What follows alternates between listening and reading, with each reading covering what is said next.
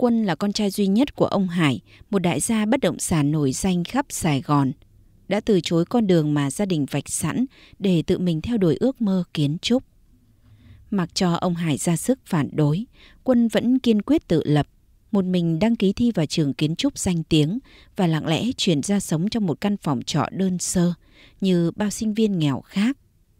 Đó là cách duy nhất để Quân có thể sống thật với bản thân mình và thoát khỏi cái bóng quá lớn từ gia đình. Ông Hải vốn là một người cha quyền lực và quyết đoán.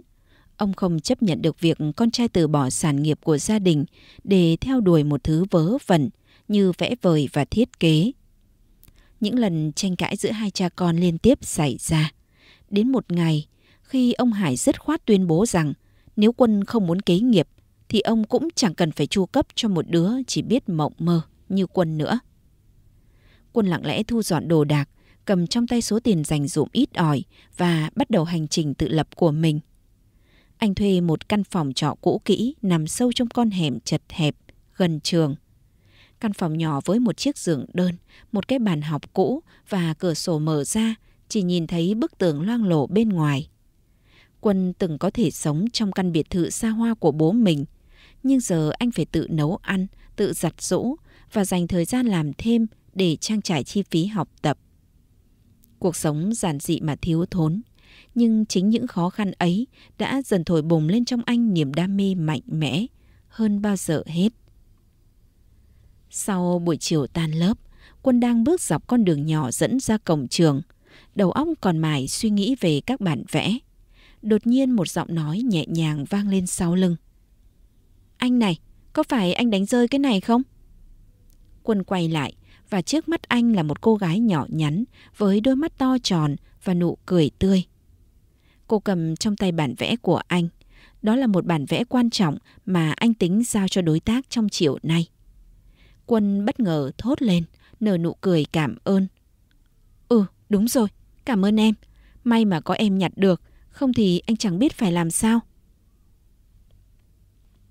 Cô gái khẽ cười, đưa bản vẽ lại cho Quân và ngập ngừng nói. Em thấy bản vẽ của anh rất ấn tượng. Em cũng đang học thiết kế, nhưng vẫn còn nhiều chỗ chưa dành lắm. Em là Vân Anh, sinh viên năm nhất. Nếu không phiền, sau này nhờ anh chỉ dẫn thêm cho em được không? Quân ngạc nhiên trước sự thẳng thắn của Vân Anh. Phần lớn bạn bè anh đều khá kiêu kỳ, nhất là khi cùng học trong lĩnh vực thiết kế, vốn đòi hỏi cá tính mạnh. Nhưng nhìn Vân Anh, Quân cảm thấy có chút gì đó khác biệt. Vẻ chân thành và đam mê lấp lánh trong mắt cô làm anh không nỡ từ chối. Anh đáp. Được chứ, anh sẽ giúp nếu em cần. Cũng xem như trả ơn em hôm nay đã giúp đỡ anh. Vân Anh cười híp mí vì sung sướng. Nụ cười của cô như ánh mặt trời buổi sáng, trong veo và dạng ngời. Ánh mắt cô cong lên, phản chiếu niềm vui và vẻ hạnh phúc như đứa trẻ lần đầu nhận được món quà quý giá. Quân đứng đối diện, cảm giác như mọi căng thẳng và áp lực đều tan biến khi nhìn vào nụ cười ấy. Lần đầu tiên anh nhận ra một người con gái mang đến một sức hút đặc biệt, một sự thuần khiết khó cưỡng lại. Cuối tuần đó, họ bắt đầu những buổi làm việc đầu tiên – Quân nhận ra rằng Vân Anh tuy mới bắt đầu nhưng lại có cảm nhận nghệ thuật rất nhạy bén. Những buổi học của hai người không chỉ trở thành cơ hội để anh truyền đạt kiến thức mà còn là những khoảng khắc chia sẻ đam mê và ý tưởng. Thời gian trôi qua, họ dần trở nên thân thiết. Quân cảm nhận ở Vân Anh sự kiên trì, nỗ lực khác biệt với hình ảnh của một tiểu thư mà anh thường thấy. Vân Anh không ngại khó, không sợ vất vả và có một tâm hồn yêu thích sáng tạo. Từ những buổi học cùng nhau, Quân dần bị cuốn vào mối quan hệ thân thiết hơn với Vân Anh. Và giữa những bản vẽ, những giảng giải tận tâm, một tình cảm mới mẻ, ấm áp bắt đầu nảy nở trong lòng hai người. Nhưng Quân luôn giữ kín cảm xúc của mình, vì hơn hết anh vẫn muốn chinh phục mục tiêu đã đặt ra, chưa sẵn sàng để trái tim mình lạc hướng. Chiều hôm đó, trong một góc yên tĩnh của thư viện, Quân và Vân Anh ngồi cạnh nhau. Xung quanh họ chỉ là những hàng kệ sách cao ngất và tiếng lật sách khẽ khàng của vài người học khác. Quân đang chăm chú chỉ cho Vân Anh cách xử lý chi tiết trên một bản vẽ phức tạp. Mắt anh say sưa nhìn vào các đường nét, còn Vân Anh lại đang nhìn anh, ánh mắt đầy cảm xúc. Quân thoáng ngẩng lên, vừa định hỏi nhỏ một câu thì bắt gặp ánh mắt nhìn sâu thẳm của Vân Anh. Cô không nói gì, chỉ chống tay lên má, chăm chú nhìn anh, không nháy mắt. Sự im lặng kéo dài vài giây, rồi Vân Anh bất ngờ mở lời, giọng nhẹ nhàng, đủ để hai người nghe rõ. Anh Quân này, em nghĩ là em thích anh rồi. Quân tròn mắt, bất ngờ đến nỗi không kịp giấu đi cảm xúc ngạc nhiên. Anh nhìn Vân Anh chằm chằm, không nói nên lời. Cảm giác ngỡ ngàng xen lẫn một chút bối rối, bởi lời tỏ tình ấy đến quá đột ngột và chân thật. Nhưng anh sớm giấu cảm xúc ấy đi, thay vào đó là vẻ mặt lơ đễnh. Anh giả vờ lãng tai không nghe rõ, muốn trêu chọc Vân Anh một chút. Anh hỏi lại. Em nói gì cơ? Anh nghe không rõ. Vân Anh lại dỉ vào tai anh. Em nghĩ là em thích anh. Gì cơ? Nói to lên xíu, anh nghe không rõ. Vân Anh hơi cúi mặt, đôi má thoáng đỏ, nhưng đôi môi vẫn kiên định với những gì mình nói ra. Lúc này giọng cô nói to hơn, có thể khiến những người xung quanh nghe được. Em thích anh. Có phải gương mặt quay lại nhìn họ. Quân thoáng giật mình khẽ bịt miệng Vân Anh lại. Gương mặt tỏ vẻ ngại ngùng, cười ngượng, nhìn xung quanh như muốn xin lỗi vì đã làm ồn. Quân ngừng lại một lát, cố gắng lấy lại bình tĩnh. Anh cười nhẹ nhìn Vân Anh như muốn trêu chọc cô thêm. Có cần thiết phải nói to cho mọi người nghe vậy không? Ai bảo anh không nghe? Nghe chứ, nhưng có điều nghe không rõ lắm.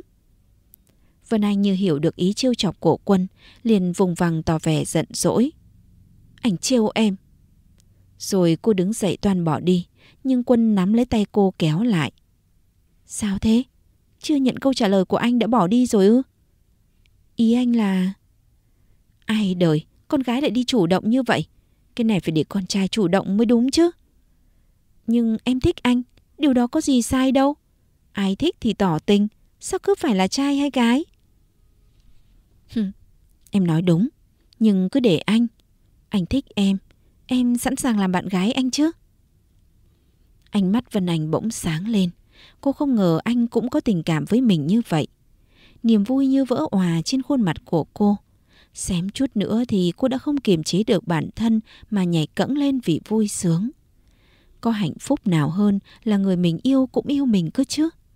Họ nắm chặt tay nhau, nhìn nhau đắm đuối, trong lòng dâng lên một nỗi niềm khó tả mà từ trước đến nay họ chưa từng trải qua. Kể từ ngày hôm đó, tình cảm giữa Quân và Vân Anh càng thêm khăng khít. Họ bắt đầu cùng nhau chia sẻ không chỉ những buổi học mà còn là những cuộc gặp mặt riêng tư hơn. Những buổi đi dạo trên phố hay những lần ghé qua các quán cóc ven đường. Vân Anh luôn giữ vẻ tự nhiên, dẫn Quân đến những chỗ ăn uống bình dân và thường cố gắng tranh phần trả tiền. Cô luôn cho rằng Quân là sinh viên nghèo, phải chật vật tự lập, nên không muốn anh phải bận tâm về chi phí. Mỗi lần như vậy, Quân vừa thấy vui nhưng cũng có chút ngại ngùng. Anh chưa từng chia sẻ về xuất thân của mình, cũng chẳng muốn làm thay đổi cách nhìn của Vân Anh. Cứ như vậy, họ trở nên như hình với bóng, lặng lẽ đồng hành bên nhau trong cuộc sống. Quân dần nhận ra rằng sự chân thành và giản dị của Vân Anh mang lại cho anh niềm hạnh phúc mà trước giờ anh chưa từng có. Nhưng trong lòng, anh cũng luôn thấp thỏm, lo lắng về ngày cô phát hiện ra sự thật về gia đình mình. Anh không biết cô sẽ phản ứng thế nào nếu biết rằng anh thực chất là thiếu gia của một gia đình giàu có, vốn không hợp với lối sống giản dị mà cô luôn yêu thích. Khi tình yêu của họ dần nảy nở thì mẹ của Vân Anh không may gặp phải một tai nạn nghiêm trọng và người gây ra tai nạn cũng bị thương rất nặng. Khi được biết gia cảnh của người gây tai nạn vô cùng khó khăn, Vân Anh thấy lòng mình nặng trĩu. Mẹ cô rơi vào tình trạng hôn mê sâu, chỉ có thể duy trì sự sống nhờ vào thuốc men và các thiết bị y tế. Thế nên tiền viện phí khá đắt đỏ. Trong những ngày tháng đau lòng ấy, Quân luôn đến bệnh viện thăm nom và động viên cô. Bố cô, ông Phong, sớm nhận ra tình cảm giữa Quân và Vân Anh. Ông cho rằng Quân chỉ là tên nghèo kiết xác, không phải người môn đăng hộ đối với Vân Anh. Và ông kiên quyết ngăn cản mối quan hệ này. Một hôm, ông Phong gặp riêng Vân Anh, đề nghị cô chia tay với Quân. Vân Anh thẳng thừng đáp. Bố, con và anh ấy yêu nhau thật lòng. Không có lý nào bố lại bắt chúng con chia tay cả. Nhưng nó là cái thằng nghèo kiết xác.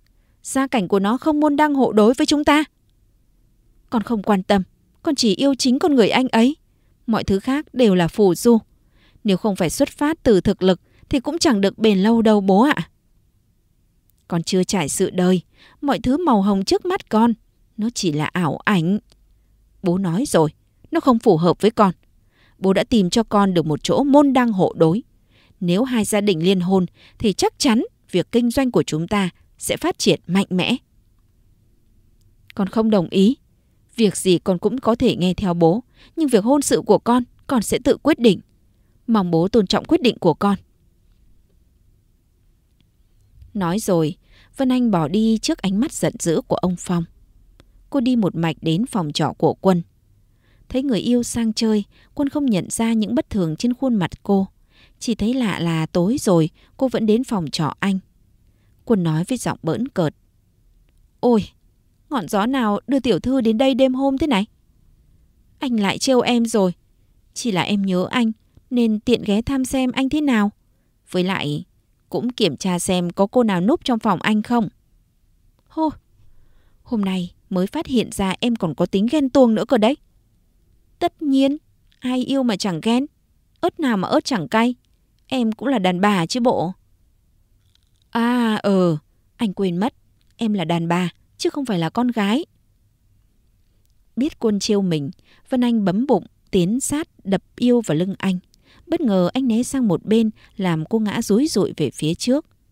Quân nhanh tay đỡ cô lại, rồi ôm cô sát vào người mình. Khuôn mặt anh ghé sát mặt cô, hơi thở có phần dồn dập. Vân Anh có chút xấu hổ, cô hơi cúi mặt xuống một chút, nhưng Quân đã đỡ lấy kéo nó sát vào mặt mình. Anh thì thầm. Cho dù em là gì, anh vẫn mãi yêu em. Nói xong, anh đặt một nụ hôn nhẹ lên môi của cô. Vân Anh nhắm mắt thưởng thức nụ hôn ngọt ngào quân trao cho cô. Hai người cứ như vậy một lúc thật lâu. Sau khi rời khỏi nụ hôn sâu ngọt ngào ấy, Vân Anh khẽ hỏi. Cho dù em có thế nào, anh vẫn yêu em chứ? Anh yêu em, rất yêu em. Hãy tin vào tình yêu của anh. Vân Anh ôm quân thật chặt. Những lời của quân như tiếp thêm sức mạnh cho cô để đối đầu với tất cả những sóng gió ngoài kia. Cô tin rằng chỉ cần hai người yêu nhau thì khó khăn nào rồi cũng sẽ vượt qua. Lúc Vân Anh chuẩn bị ra về thì trời đổ mưa. Những cơn mưa nặng hạt kèm theo gió thổi xoáy khiến phố phường đang tấp nập bỗng dưng vắng tanh. Một tiếng sấm vang trời khiến Vân Anh giật bắn cả người. Cô vô thức ôm lấy quân. Quân khẽ cười. Chỉ là sấm thôi mà, sao phải sợ vậy? Có phải lợi dụng để ôm anh không? Em sợ sấm sét lắm. Hay là tối nay anh cho em tá túc lại đây nhé? Em không sợ người ngoài họ dị nghị à? Một nam một nữ trong phòng. Anh không hứa sẽ không làm gì em đâu nhé. Anh lại trêu em rồi. Em tin tưởng ở anh hơn cả bản thân em. Ôi tôi chết. Thế thì anh lại càng phải đề phòng rồi. Vừa nói, Quân lại đưa tay ôm trước ngực như đề phòng Vân Anh, khiến Vân Anh phì cười. Họ trêu đùa nhau một lát rồi cũng đến giờ đi ngủ. Phòng trọ chỉ mỗi một chiếc giường nên Quân nhường cho Vân Anh, còn anh trải tạm cái vỏ chăn xuống dưới nền gạch để nằm. Nửa đêm, nghe tiếng Quân ho húng hắng đôi chút, Vân Anh khá lo lắng. Cô ngồi dậy gọi. Anh Quân, anh còn thức chứ? Ừ, sao thế em? Lại nhà không ngủ được à? Không phải, anh nằm dưới đấy lạnh lắm. Lên đây nằm đi, kẻo mai lại ốm đấy. Anh không sao, anh chịu được mà. Có chút chuyện còn con, em không cần lo đâu. Ngủ đi lấy sức, mai còn đi học. Anh cứ lên đây nằm đi. Em không ăn thịt anh đâu mà sợ. Em chắc chứ? Chắc. Nhanh nào, ngoan, em thương. Được Vân Anh mở lời, quân lồm cồm bò dậy quấn đống chăn gối lên giường nằm. Anh cũng chỉ dám nằm ngay mé giường, cách xa Vân Anh một đoạn. Vừa đặt lưng xuống thì Vân Anh đã sán lại gần, vòng tay ôm qua người anh. tựa đầu vào vai anh. Quân hơi bối rối. Này, em làm gì thế? Nam nữ thọ thọ bất thân nhé. Kệ, em yêu anh, em không sợ. Nói xong, Vân Anh lại càng ôm chặt anh hơn.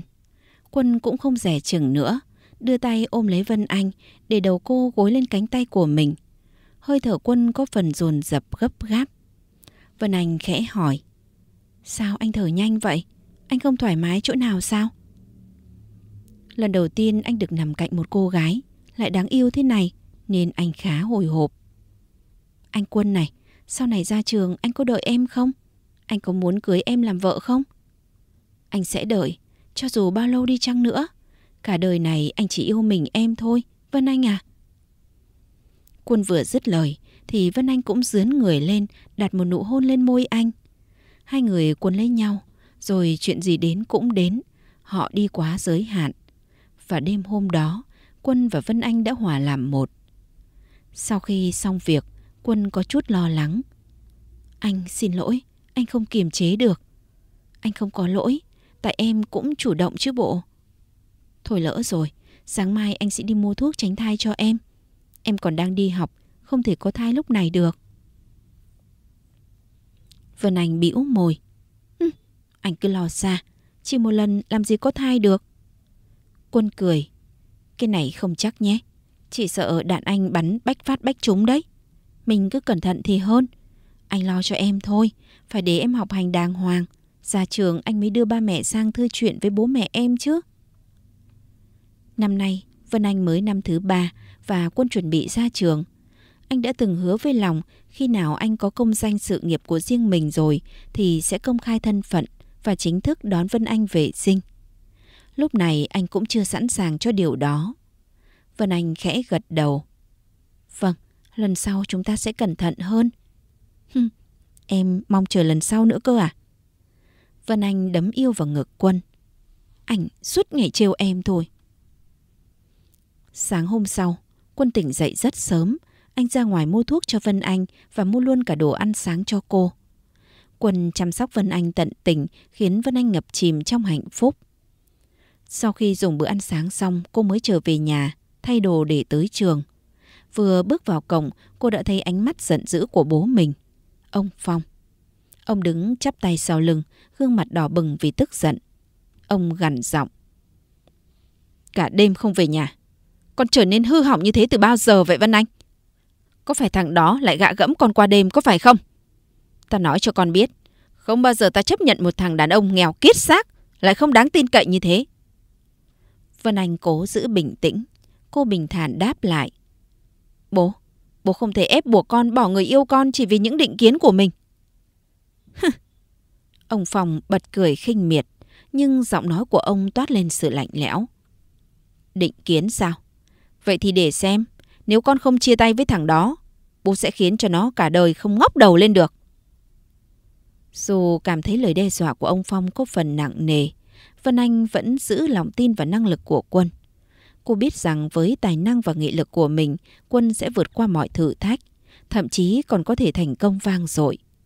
Vân Anh thẳng thắn nhìn bố, giọng dứt khoát. Bố có quyền lực, bố nghĩ bố thích làm gì cũng được hay sao? Còn sẽ không bao giờ từ bỏ anh ấy. Ông Phong im lặng một lúc, ánh mắt sắc bén hơn, rồi ông đưa ra lời đe dọa cuối cùng. Được, vậy để xem con có thể chống lại ta bao lâu. Chiều hôm đó, Vân Anh vừa mới từ trường về nhà thì bắt gặp một người phụ nữ lạ và một cô gái. Có lẽ là con bà ta. Cô gái đó chắc chỉ kém Vân Anh ít tuổi. Hai người họ đi lại trong nhà rất tự nhiên, như thể đây là nhà của họ vậy. Vân Anh ngạc nhiên, đang định đi nhanh tới để chất vấn họ, thì bố cô bước từ trong phòng đi ra. Thấy Vân Anh, ông hớn hở. Vân Anh về rồi đó hả con? Làm quen với mọi người đi. Đây là cô Thương và em Thảo, con của bố. Còn đây là Vân Anh. Người phụ nữ tiến sát lại gần ông Phong, ôm lấy cánh tay của ông rất thân mật, đồng thời tiếp lời ông. Chà, con gái càng lớn càng xinh đẹp nhỉ? Cô gái kia cũng nhuền miệng cười chào hỏi. Em chào chị. Vân Anh ngạc nhiên hết sức. Từ trước tới nay cô là đứa con duy nhất của ông Phong. Sao bây giờ lại mọc đâu ra đứa em gái thế này? lại cả người đàn bà kia nữa chứ. Cô gằn giọng. Ta chẳng có đứa em nào cả. Bố giải thích đi, chuyện này là thế nào? Trước đây, bố đã từng đi quá giới hạn với cô Thương và em Thảo là con của bố. Vậy là bao lâu nay bố lén lút với bà ta sau lưng mẹ có phải không? Bây giờ mẹ con đang nằm đó, chưa biết sống chết thế nào. Bố lại rước bà ta về đây. Bố, bố còn là người nữa không? Lương tâm của bố để đâu? Vân Anh vừa dứt lời thì bị ông Phong cho một cái tát trời giáng vào mặt. Bố thế nào không khiến con phán xét? Khốn hồn thì con làm tròn trách nhiệm của mình đi. Nói cho con biết, một là con phải bỏ thằng kia, hai là ra khỏi nhà. Đừng bao giờ bước chân vào cái nhà này nữa. Và con nên nhớ, nếu như con ra khỏi cánh cửa kia, thì mẹ con cũng chẳng có tư cách gì ở trong căn nhà này nữa. Toàn bộ tiền viện phí, bố sẽ không chi trả một đồng. Nghe những lời tuyệt tình của bố, tim Vân Anh như bị ai xé nát. Bố, bố vì người đàn bà này mà ruồng rẫy vợ con. Mẹ con đã vì bố hy sinh cả thanh xuân, cùng bố xây đắp nên cơ ngơi này. Tại sao bố lại nhẫn tâm như vậy? Mẹ con xứng đáng được hưởng những công sức mẹ con bỏ ra chứ? Bà ta đã cho bố được gì mà bỗng nhiên chen chân vào căn nhà này? Mẹ con bây giờ khác gì người đã chết đâu. Bố cần có người chăm lo và cô thương đây sẽ thay mẹ chăm lo cho gia đình này. Vân Anh biết, bây giờ nếu cô bỏ đi, mọi thứ sẽ chấm hết.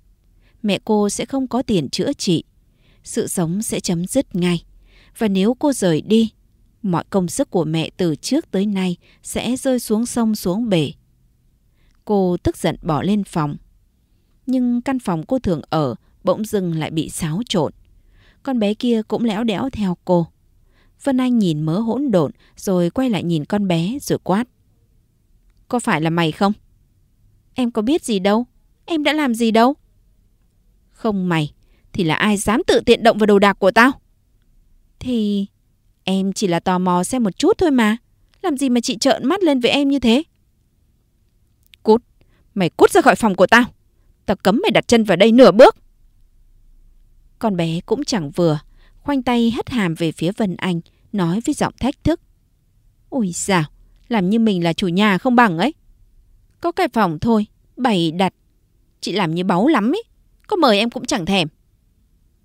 Nói xong, nó nguyết Vân Anh một cái rồi bỏ đi. Vân Anh tức tối dẫm chân xuống nhà, la hét đầy bất lực. Bi kịch đến với Vân Anh chưa dừng lại ở đó. Sáng sớm hôm sau, ông Phong đã gõ cửa phòng Vân Anh từ rất sớm. Ông đưa cho Vân Anh một tờ giấy và bảo Bố đã sắp xếp hết rồi, con chuẩn bị đồ đạc đi. Tuần sau bay rồi đó. Bố, cái này là thế nào ạ? Bố đã sắp xếp con sang du học Úc. Đó là một trường điểm nổi tiếng. Con đi du học rồi, sau này về sẽ tiếp quản công việc của bố. Con không đi, con đang học ở đây rất tốt, chẳng cần phải du học đâu cho xa xôi. Với lại mẹ con như thế, con cũng không muốn đi đâu hết. Được thôi, con được quyền lựa chọn mà. Một là con đi du học, cắt đứt hoàn toàn với thằng kia. Hai là mẹ con sẽ không nhận được một đồng viện phí nào hết. Bố, sao bố cứ phải làm khó con vậy ạ? Bố đang làm tất cả những gì tốt nhất cho con và mẹ con. Con nên hiểu điều đó. Du học về, tương lai con sẽ tốt hơn và mẹ con vẫn được duy trì sự sống. Bằng không, mọi thứ sẽ chấm dứt ở đây. Trước lời đe dọa của bố, Vân Anh tỏ ra bất lực. Cô biết rằng giờ đây cô phải đứng trước sự lựa chọn. Một bên là tình cảm với Quân, một bên là mẹ cô. Lúc còn khỏe mạnh, mẹ luôn yêu chiều bảo bọc cô, chăm lo cho cô từ miếng ăn giấc ngủ và luôn ủng hộ cô. Nếu vì lựa chọn tình yêu mà cô để mẹ ra đi như thế, thì quãng đời còn lại cô sẽ cắn rứt khôn nguôi. Dẫu biết rằng sẽ là khó khăn, nhưng Vân Anh đành hy sinh tình yêu để cứu mẹ mình. Cô không hề hay biết rằng bố cô trở thành người máu lạnh như vậy là vì người đàn bà đó đã giật dây phía sau lưng cô và mẹ. Mãi đến sau này cô mới nhận ra, lựa chọn du học đồng nghĩa chia tay quân, đó là quyết định đau đớn. Vân Anh cũng không có dũng khí đứng trước mặt anh để nói lời chia tay.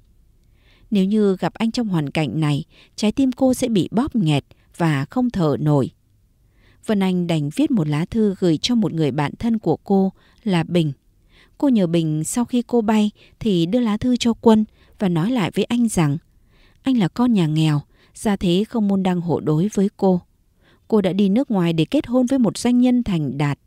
Người này sẽ hỗ trợ việc làm ăn của gia đình cô và khuyên anh quên cô đi.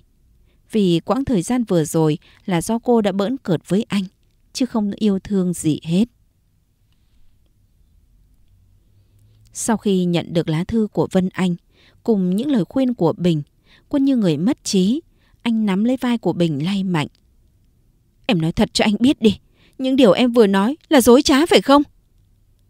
Bình bị Quân bóp chặt, liền kêu thán.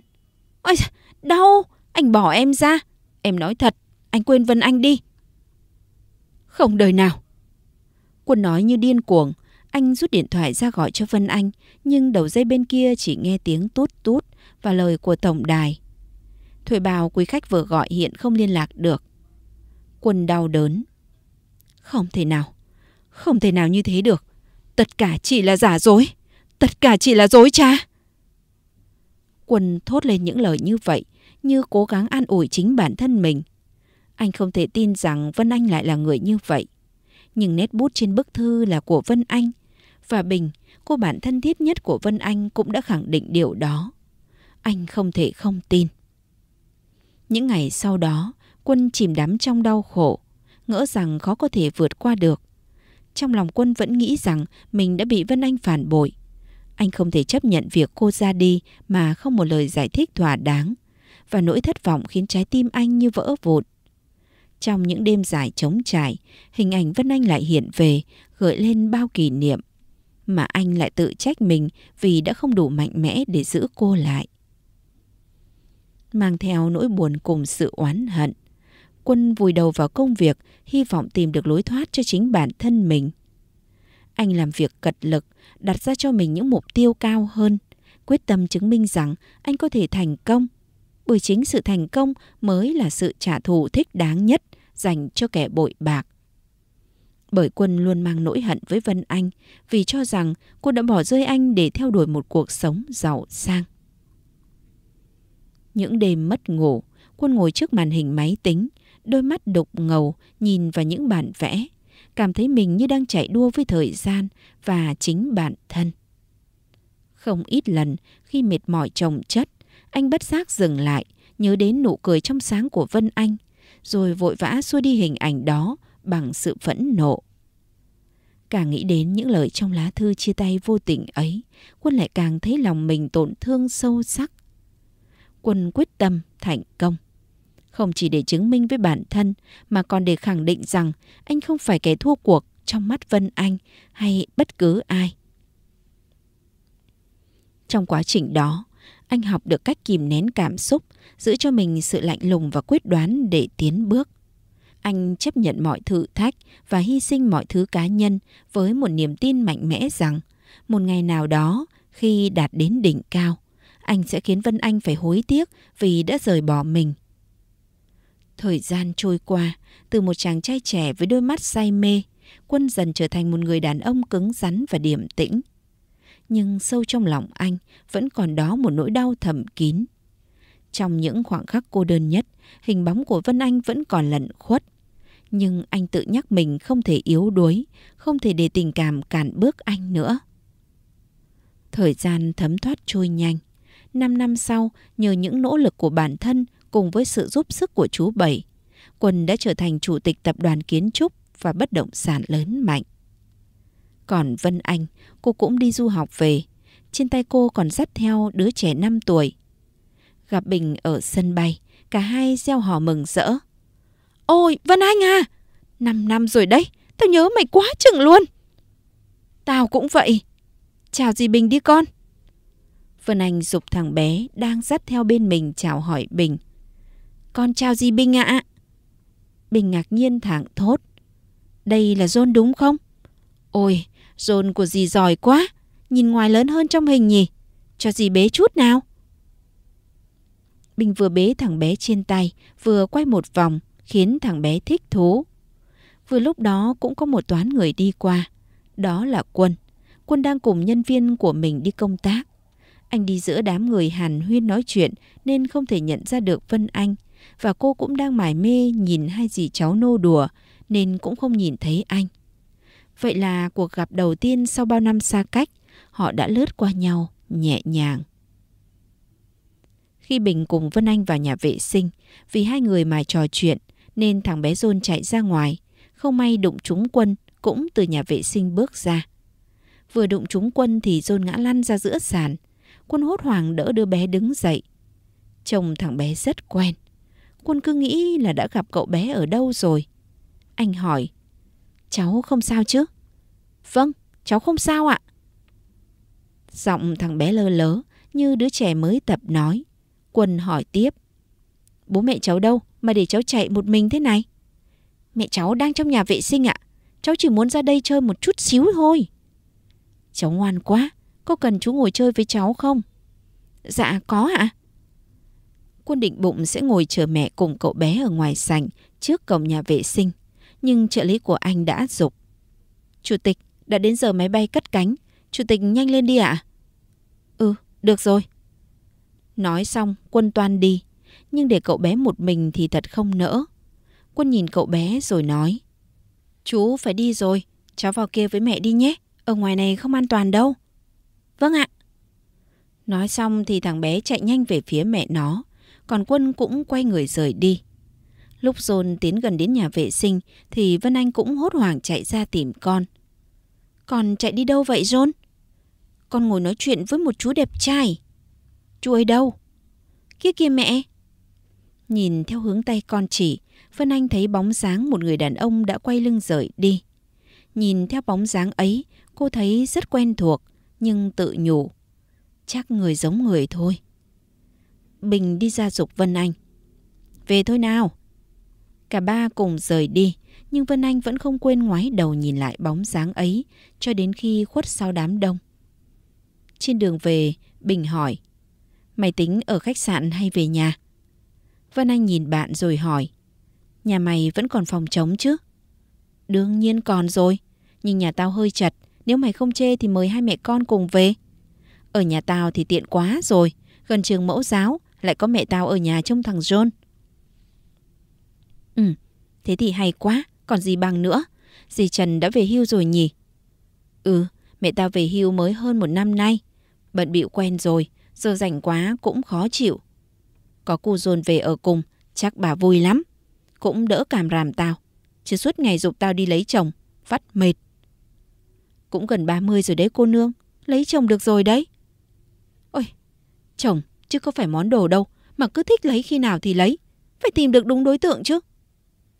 Vân Anh cười đùa. Cô nương cứ kén mãi thế rồi ế đấy. Bình bĩu môi. Khuya tao mới ế. Tự nhiên lại thèm cái cảm giác tình yêu xét đánh thế chứ lị. Rồi, cô lại xa vào tiểu thuyết ngôn tình rồi đấy. Hơ, thế mới vui chứ. Này, ta bảo, lão quân mấy năm nay làm ăn lên như diều gặp gió. Mày có muốn gặp lại lão không? Vân Anh không trả lời. Cô đáp trả bạn bằng sự im lặng. Không khí trong xe bỗng trầm xuống khi Bình đề cập đến quân. Những kỷ niệm xa kia ùa về trong tâm trí Vân Anh, khiến nỗi buồn len lỏi trong lòng cô nhưng tiếng cô dồn đã kéo cô về thực tại. Mẹ ơi, nhiều xe quá! Ừ. Nhìn thằng bé dõi ánh mắt ngây thơ qua khung cửa ô tô, ngắm dòng người tấp nập qua lại, khiến Vân Anh được an ủi phần nào. Thằng bé là kết tinh tình yêu của cô. Hôm đó, chỉ một lần duy nhất mà hai người đã có quả ngọt. Mặc dù đã uống thuốc cấp tốc 24 giờ rồi, nhưng chẳng hiểu vì sức mạnh nào mà cô John vẫn tồn tại. Quãng thời gian bên Úc, cô phải chật vật lắm mới vừa học vừa nuôi con được. Ơn trời thằng bé rất ngoan, nên mỗi khi đi đâu cô đều có thể mang con đi theo. Và cũng nhờ bà chủ nhà tốt bụng, thỉnh thoảng trông dùm thằng bé, giúp cô. Chứ không thì cô không biết xoay sở thế nào. Đó là khoảng thời gian khó nhất của Vân Anh. Lớn lên đi học, thấy bạn bè có bố, còn mình thì không. John cũng nhiều lần hỏi cô về bố nó. Thế nhưng cô đều lảng tránh hoặc nói dối rằng bố bận đi công tác xa, phải rất lâu nữa mới về. Thằng bé còn trẻ con nên chỉ biết nghe theo lời mẹ răm rắp. Trở về lần này, điều cô mong mỏi nhất là gặp lại mẹ và giành lấy những gì thuộc về mẹ con cô đã bị mẹ con bà Thương cướp hết. Vân Anh cũng không muốn bất cứ ai biết về thân phận của thằng bé John, kể cả Quân. Sau khi gửi cậu bé ở nhà Bình, Vân Anh mới quay trở về nhà. Cô đi thẳng vào phòng làm việc của ông Phong vì trước đó cô đã liên hệ trước với ông và được biết ông đang có ở nhà.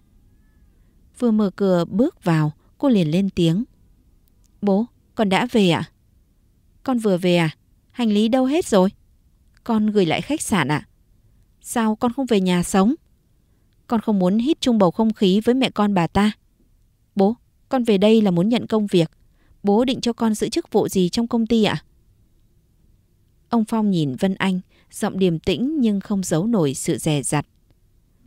Bố đã cân nhắc và thấy con phù hợp với vị trí trưởng phòng kinh doanh. Đây là bước đầu để con làm quen với công việc. Còn vị trí giám đốc hiện tại, cô Thương đã đảm nhận rồi. Vân Anh chết lặng, cố kìm nén sự bất mãn đang trào dâng.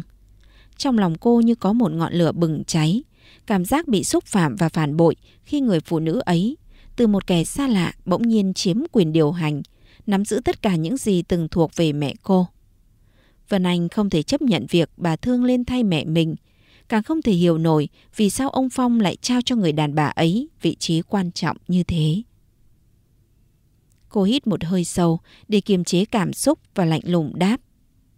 Bố, chẳng phải mọi thứ mẹ con đã gây dựng nên công ty này sao? Mẹ là người sát cánh cùng bố những ngày khó khăn nhất. Vậy mà giờ, người phụ nữ xa lạ kia lại dễ dàng ngồi vào vị trí ấy. Ông Phong vẫn giữ vẻ mặt thản nhiên. Đó là vợ bố, không phải người lạ. Vân Anh mím chặt môi, đôi mắt long lanh chứa đựng bao uất ức. Cô đáp lại một cách dứt khoát. Được thôi, con sẽ chứng minh cho bố thấy. Mọi quyết định của bố đều là sai lầm. Ông Phong ngạc nhiên trước thái độ kiên quyết của Vân Anh. Nhưng rồi ông chỉ im lặng, ánh mắt thoáng vẻ bối rối. Vân Anh quay người bước ra khỏi phòng, lòng tự nhủ rằng cô sẽ làm tất cả để lấy lại công bằng cho mẹ mình và giành lại vị trí xứng đáng trong công ty. Thế nhưng khi Vân Anh tiếp quản công việc không được bao lâu thì biết được công ty lại lâm vào tình thế sắp phá sản. Dưới sự điều hành công ty của bà Thương, công ty gia đình cô càng ngày càng làm ăn thất bát. Ông Phong lo lắng tột cùng và cố gắng tìm kiếm nguồn đầu tư bằng việc thu hút nguồn vốn từ các đối tác. Khi quân nhận tin công ty của gia đình Vân Anh gặp khó khăn tài chính, anh không thể bỏ lỡ cơ hội. Những tổn thương xưa cũ kèm theo lòng hận thù và kiêu hãnh thúc đẩy anh đưa ra một điều kiện tàn nhẫn. Quân đến gặp ông Phong trong buổi họp bàn về khoản đầu tư, khẳng định rằng công ty Thành Đạt sẵn sàng hỗ trợ tài chính, nhưng với một điều kiện rõ ràng, Vân Anh phải kết hôn với anh. Ông Phong bất ngờ trước yêu cầu của Quân. Ông biết công ty đang cần khoản đầu tư lớn và Quân là một trong những đối tác tiềm năng nhất. Khi ông chuyển lời đề nghị này đến Vân Anh, cô như bị giáng một đòn đau đớn. Cô biết Quân vẫn còn oán hận vì quá khứ và chắc chắn rằng yêu cầu này chẳng phải vì tình yêu mà là một sự trả thù âm thầm. Dù bị tổn thương sâu sắc, Vân Anh hiểu rõ tình hình hiện tại. Công ty mẹ cô đã gây dựng đang đứng trên bờ vực sụp đổ. Còn cha cô cũng bắt đầu già yếu, không còn đủ sức để vực dậy sự nghiệp một lần nữa. Với sự quả quyết và lòng hy sinh, Vân Anh đồng ý kết hôn với Quân. Dù biết rằng đây không phải là cuộc hôn nhân xuất phát từ tình yêu, mà là một hợp đồng ngầm nhằm cứu công ty. Ngày ký kết thỏa thuận đầu tư cũng là ngày họ chính thức đăng ký kết hôn. Quân lạnh lùng đeo nhẫn vào tay Vân Anh, ánh mắt không chứa đựng chút tình cảm nào, chỉ toàn vẻ thỏa mãn vì đã buộc cô vào cuộc hôn nhân không có lối thoát. Còn Vân Anh cố giữ bình tĩnh, hứa với lòng rằng dù phải chịu đựng bao cay đắng, cô cũng sẽ không để mất đi phẩm giá của mình. Đêm tân hôn, lẽ ra phải là khởi đầu hạnh phúc của một cuộc hôn nhân. Nhưng đối với Vân Anh và Quân, đó lại là một buổi tối lạnh lẽo, đầy tổn thương. Ngay khi vừa về đến nhà sau khi đăng ký kết hôn, Quân đã nhấc điện thoại và gọi một người phụ nữ khác đến, khiến Vân Anh sững sờ. Cô đứng lặng nhìn Quân đón người phụ nữ kia vào nhà, tay vòng qua vai cô ta một cách khiêu khích. Ánh mắt của quân đầy thách thức như chờ đợi một phản ứng từ Vân Anh. Vân Anh cố nén nỗi đau, không một lời trách móc, chỉ nhẹ nhàng quay bước vào phòng. Cô biết đây là cách anh trả đũa những tổn thương mà cô đã gây ra trong quá khứ. Đêm ấy, Vân Anh ngồi bên cửa sổ, lòng quặn thắt. Cô muốn giải thích với Quân. Cô muốn anh biết rằng cô chưa bao giờ ngừng yêu anh. Rằng tất cả những gì đã xảy ra là vì hoàn cảnh buộc cô phải chọn giữa gia đình và tình yêu. Nhưng nhìn thấy sự căm hận trong mắt Quân, cô hiểu rằng anh sẽ không tin bất cứ lời nào của cô. Những ngày sau đó, cuộc hôn nhân của họ chỉ là chuỗi ngày im lặng và chịu đựng. Quân không ngừng giày vỏ Vân Anh, cố tình đối xử lạnh nhạt và xa cách. Hết lần này đến lần khác trà đạp lên tình cảm của cô. Anh thường xuyên đi sớm về khuya, chẳng mấy khi ở nhà, hoặc nếu có về cũng mang theo một người phụ nữ khác, không chút kiêng rè trước mặt Vân Anh. Mỗi lần như thế, Vân Anh chỉ lặng lặng quay vào phòng, không phản ứng, cũng không cản ngăn.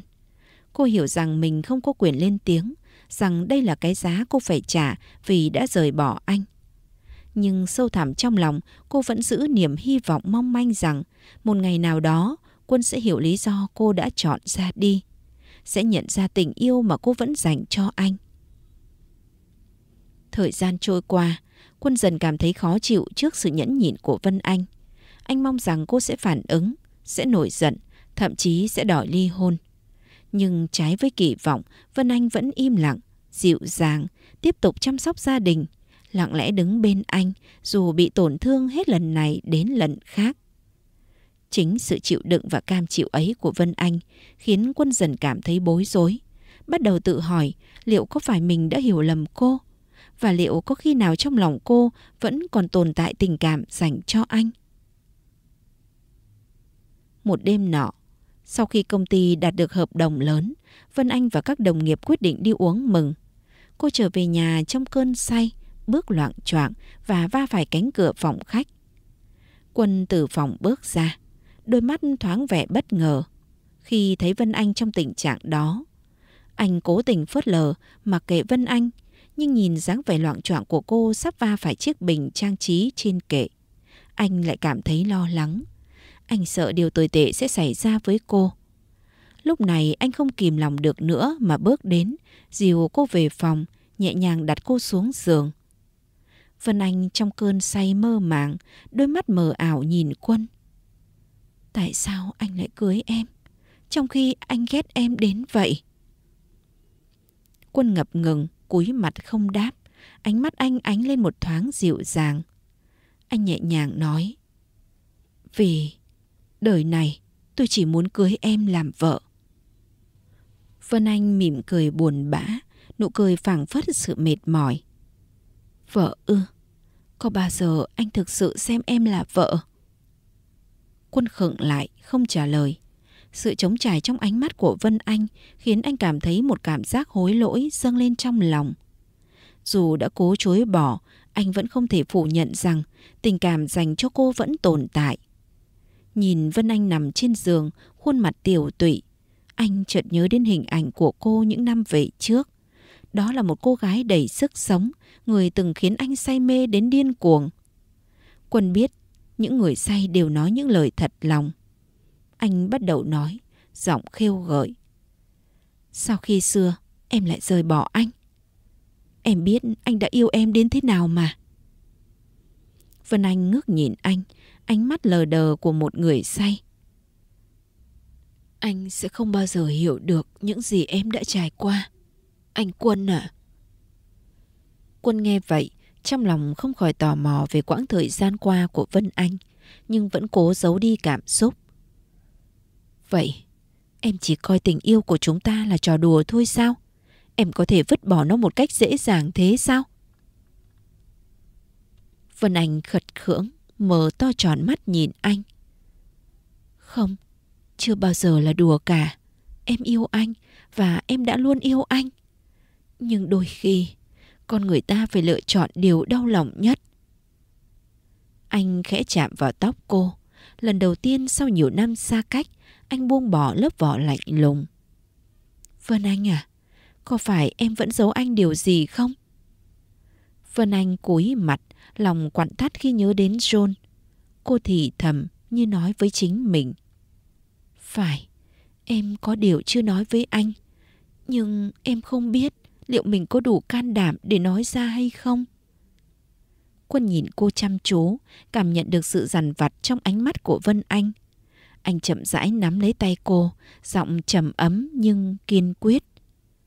Hãy nói thật với anh đi, anh muốn biết tất cả mọi thứ. Vân Anh đưa ngón trỏ lên trước mặt, lắc nhẹ. Không, chưa đến lúc, em còn nhiều việc phải làm lắm. Giọng quân khẩn khoản. Anh sẽ giúp em. Vân Anh nở nụ cười nhẹ rồi chìm sâu vào giấc ngủ, bỏ lại quân ngồi một mình với nhiều suy nghĩ mông lung.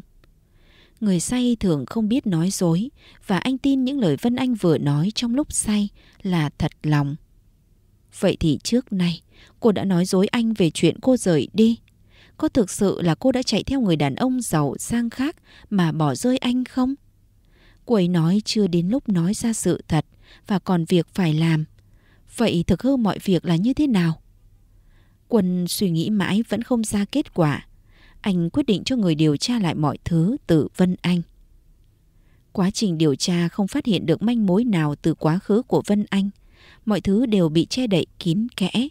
Chỉ có một điều, thực tại bây giờ là Vân Anh có một đứa con trai, tầm khoảng 5 tuổi và cô vẫn đang độc thân, chưa từng kết hôn. Tấm ảnh của cậu bé khiến anh không thể rời mắt. Anh đã từng gặp cậu bé đâu đó, nhưng tạm thời không nhớ ra. Và nhìn cậu bé có gì đó giống hệt anh hồi nhỏ. Anh dừng lại kết quả cuối cùng từ tệp hồ sơ, xác nhận ADN của anh hoàn toàn trùng khớp với cậu bé. Cảm giác bàng hoàng và hối hận đan xen khi anh nhận ra đứa trẻ ấy chính là con trai mình. Mở rộng cuộc điều tra từ gia đình Vân Anh, anh phát hiện ra rằng mẹ Vân Anh bị tai nạn là kết quả của một âm mưu từ bà Thương, người đã chen vào gia đình Vân Anh và lợi dụng ông Phong để cướp đi mọi thứ thuộc về mẹ con cô. Hóa ra, Vân Anh rời đi không phải vì ham muốn giàu sang hay bỏ rơi anh như anh từng nghĩ, mà là vì những toan tính độc ác của người phụ nữ ấy. Quân ngồi bất động, nỗi ân hận dâng lên khiến lòng anh nặng trĩu. Cảm giác cay đắng khi biết mình đã sai suốt bao nhiêu năm qua khiến anh thậm chí khó thở. Anh nghĩ đến những ngày tháng đã qua, khi anh không ngừng hành hạ Vân Anh vì những hiểu lầm và oán hận. Anh nhớ lại đôi mắt buồn bã của cô khi anh đem người phụ nữ khác về nhà. Nhớ lại nỗi đau mà cô phải chịu đựng trong im lặng. Giờ đây, mọi thứ dường như vỡ ra và anh biết mình phải sửa chữa. Anh đến trường học của bé John. Anh muốn được nhìn ngắm thằng bé nhiều hơn, muốn được ôm hôn vuốt ve thằng bé mỗi ngày. Nhìn con trai nô đùa cùng đám bạn mà lòng quân lại trào dâng cảm giác yêu thương và hối tiếc khôn nguôi. Anh cố tình tiếp cận thằng bé một vài lần. Thằng bé đã nhận ra anh ngay khi vừa mới gặp lần đầu. Chú, chú là chú ở sân bay phải không? Lúc này quân mới nhớ ra mình đã từng gặp cậu bé ở sân bay. Vì hôm đó chỉ là một cuộc gặp thoáng qua và vì công việc mà anh quên mất đứa bé này. Anh cười. Ừ, là chú đây. Wow, chú, chú đẹp trai quá. Cảm ơn cháu, cháu cũng vậy. Dạ, mẹ cháu bảo cháu giống hệt bố cháu ạ. Vậy ư, vậy chắc bố cháu cũng rất đẹp trai nhỉ? Thằng bé chợt im lặng, một lát nó mới ngẩng đầu lên, nói giọng buồn buồn. Cháu chưa từng gặp bố chú ạ. Sao vậy? Mẹ cháu bảo bố cháu đi công tác xa lắm, rất lâu nữa mới về. Cháu mong bố cháu không đi làm xa nữa mà ở nhà chơi với cháu. Mẹ cháu đi làm suốt ngày, chẳng có thời gian ở nhà chơi với cháu. Cháu buồn lắm chú ạ. Cháu có muốn chú làm bạn với cháu không nào? Tất nhiên là muốn ạ. Vậy hôm nào chú lại đến trường chơi với cháu nữa nhé. Vâng, nhưng mà mẹ cháu dặn cháu không được chơi với người lạ. Chú là bạn cháu rồi, sẽ không phải là người lạ nữa, đúng không nào? Dạ vâng ạ. Thằng bé reo hò lên vì vui sướng. Đúng là trẻ con vô tư hồn nhiên, chỉ bằng đôi ba lời có thể dụ dỗ được chúng. Những ngày sau đó, Quân thường xuyên đến trường chơi với thằng bé. Anh tự giới thiệu với cô giáo là bố đứa bé. Giữa anh và vợ đang xảy ra xích mích nên không tiện gặp con. Nhờ cô giáo giấu giúp việc anh đã gặp thằng bé. Cô giáo thấy hai người rất giống nhau nên tin rằng điều anh nói là sự thật. Hôm ấy như thường lệ, anh lại tìm đến gặp cô John. Khi John trông thấy Quân, đôi mắt cậu bé sáng lên và nhanh chóng chạy lại gần, nở một nụ cười hồn nhiên. Chú ơi, sao hôm nay chú lại đến chơi với cháu ạ? Quân nhìn con, không nén được xúc động. Anh cúi xuống ngang tầm mắt John, cười nhẹ. Chú nhớ cháu, John ạ. Chú muốn cùng cháu chơi một chút. Cháu có thích không? John hớn hở gật đầu, đôi mắt lấp lánh. Quân đưa tay nắm lấy bàn tay nhỏ bé của John, cảm nhận từng nhịp đập của con truyền qua bàn tay ấy. Và anh không nén được lòng mình nữa. Anh kéo nhẹ John vào vòng tay, đặt một nụ hôn lên mái tóc mềm của cậu bé. John nhìn lên, ngơ ngác nhưng vẫn vui vẻ dựa vào vai quân, rồi cất tiếng hỏi. Chú ơi, chú có muốn trở thành bố cháu không? Mẹ cháu nói bố cháu đi xa lắm, nhưng cháu vẫn mong bố về. Cháu thấy các bạn có bố, cháu cũng muốn có một người bố như các bạn cơ. Lời nói của con như bóp nghẹt trái tim quân, khiến anh phải cố nén nước mắt. Anh thì thầm, giọng đầy xúc động. Chú muốn chứ, nhưng để chú xin phép mẹ cháu đã nhé. Khi nào mẹ cho phép thì chú sẽ là bố cháu. Nhưng cháu phải hứa với chú, không được nói gì với mẹ về chú. Nhớ chưa nào? Nếu mẹ biết chú chơi với cháu mà không có mẹ thì mẹ sẽ buồn lắm, cháu biết không? Thằng bé vui vẻ đáp. Vâng ạ. Rồi nó đưa tay lên móc tay với Quân như một dao kèo. Quân cũng cười đùa. Chấm rồi nhé. Hai bố con tiếp tục vui vẻ chơi đùa với nhau. Quân thầm tự hứa sẽ không để John phải cô đơn thêm nữa. Anh biết đã đến lúc cần phải đối mặt với Vân Anh để cùng cô làm sáng tỏ mọi điều. Vì hạnh phúc của con và vì gia đình mà anh đã khao khát bấy lâu. Chiều hôm đó, Quân trở về nhà sớm hơn mọi ngày. Vân Anh vẫn còn trong phòng làm việc, chăm chú nhìn vào màn hình máy tính. Anh đứng ngoài cửa, ngắm nhìn cô một lát trước khi nhẹ nhàng bước vào. Cô ngẩng đầu lên, ánh mắt thoáng vẻ ngạc nhiên khi thấy anh. Quân bước đến, ngồi đối diện và nhìn thẳng vào mắt Vân Anh. Giọng anh trầm hẳn đi. Vân Anh à, em có điều gì muốn nói với anh không? Vân Anh khẽ giật mình, đôi mắt thoáng vẻ bối rối. Cô cảm nhận được sự khác lạ trong giọng nói của Quân, một sự nghiêm túc và nặng nề mà anh chưa từng thể hiện trước đây. Cô cố giữ bình tĩnh. Em có gì để nói với anh đâu, mọi thứ vẫn như cũ thôi mà. Quân lắc đầu, đưa cho cô tấm ảnh của John mà anh có được. Vân Anh cứng đờ người khi nhìn thấy hình ảnh của con trai. Cô cầm lấy bức ảnh, lòng dậy lên bao cảm xúc. Cô hiểu rằng Quân đã biết tất cả. Đây là con của chúng ta, đúng không Vân Anh? Tại sao em giấu anh? Vân Anh nhìn xuống, giọng cô nghẹn lại. Anh Quân, em... Quân khẽ nắm lấy tay cô, sự dịu dàng hiện lên trong ánh mắt.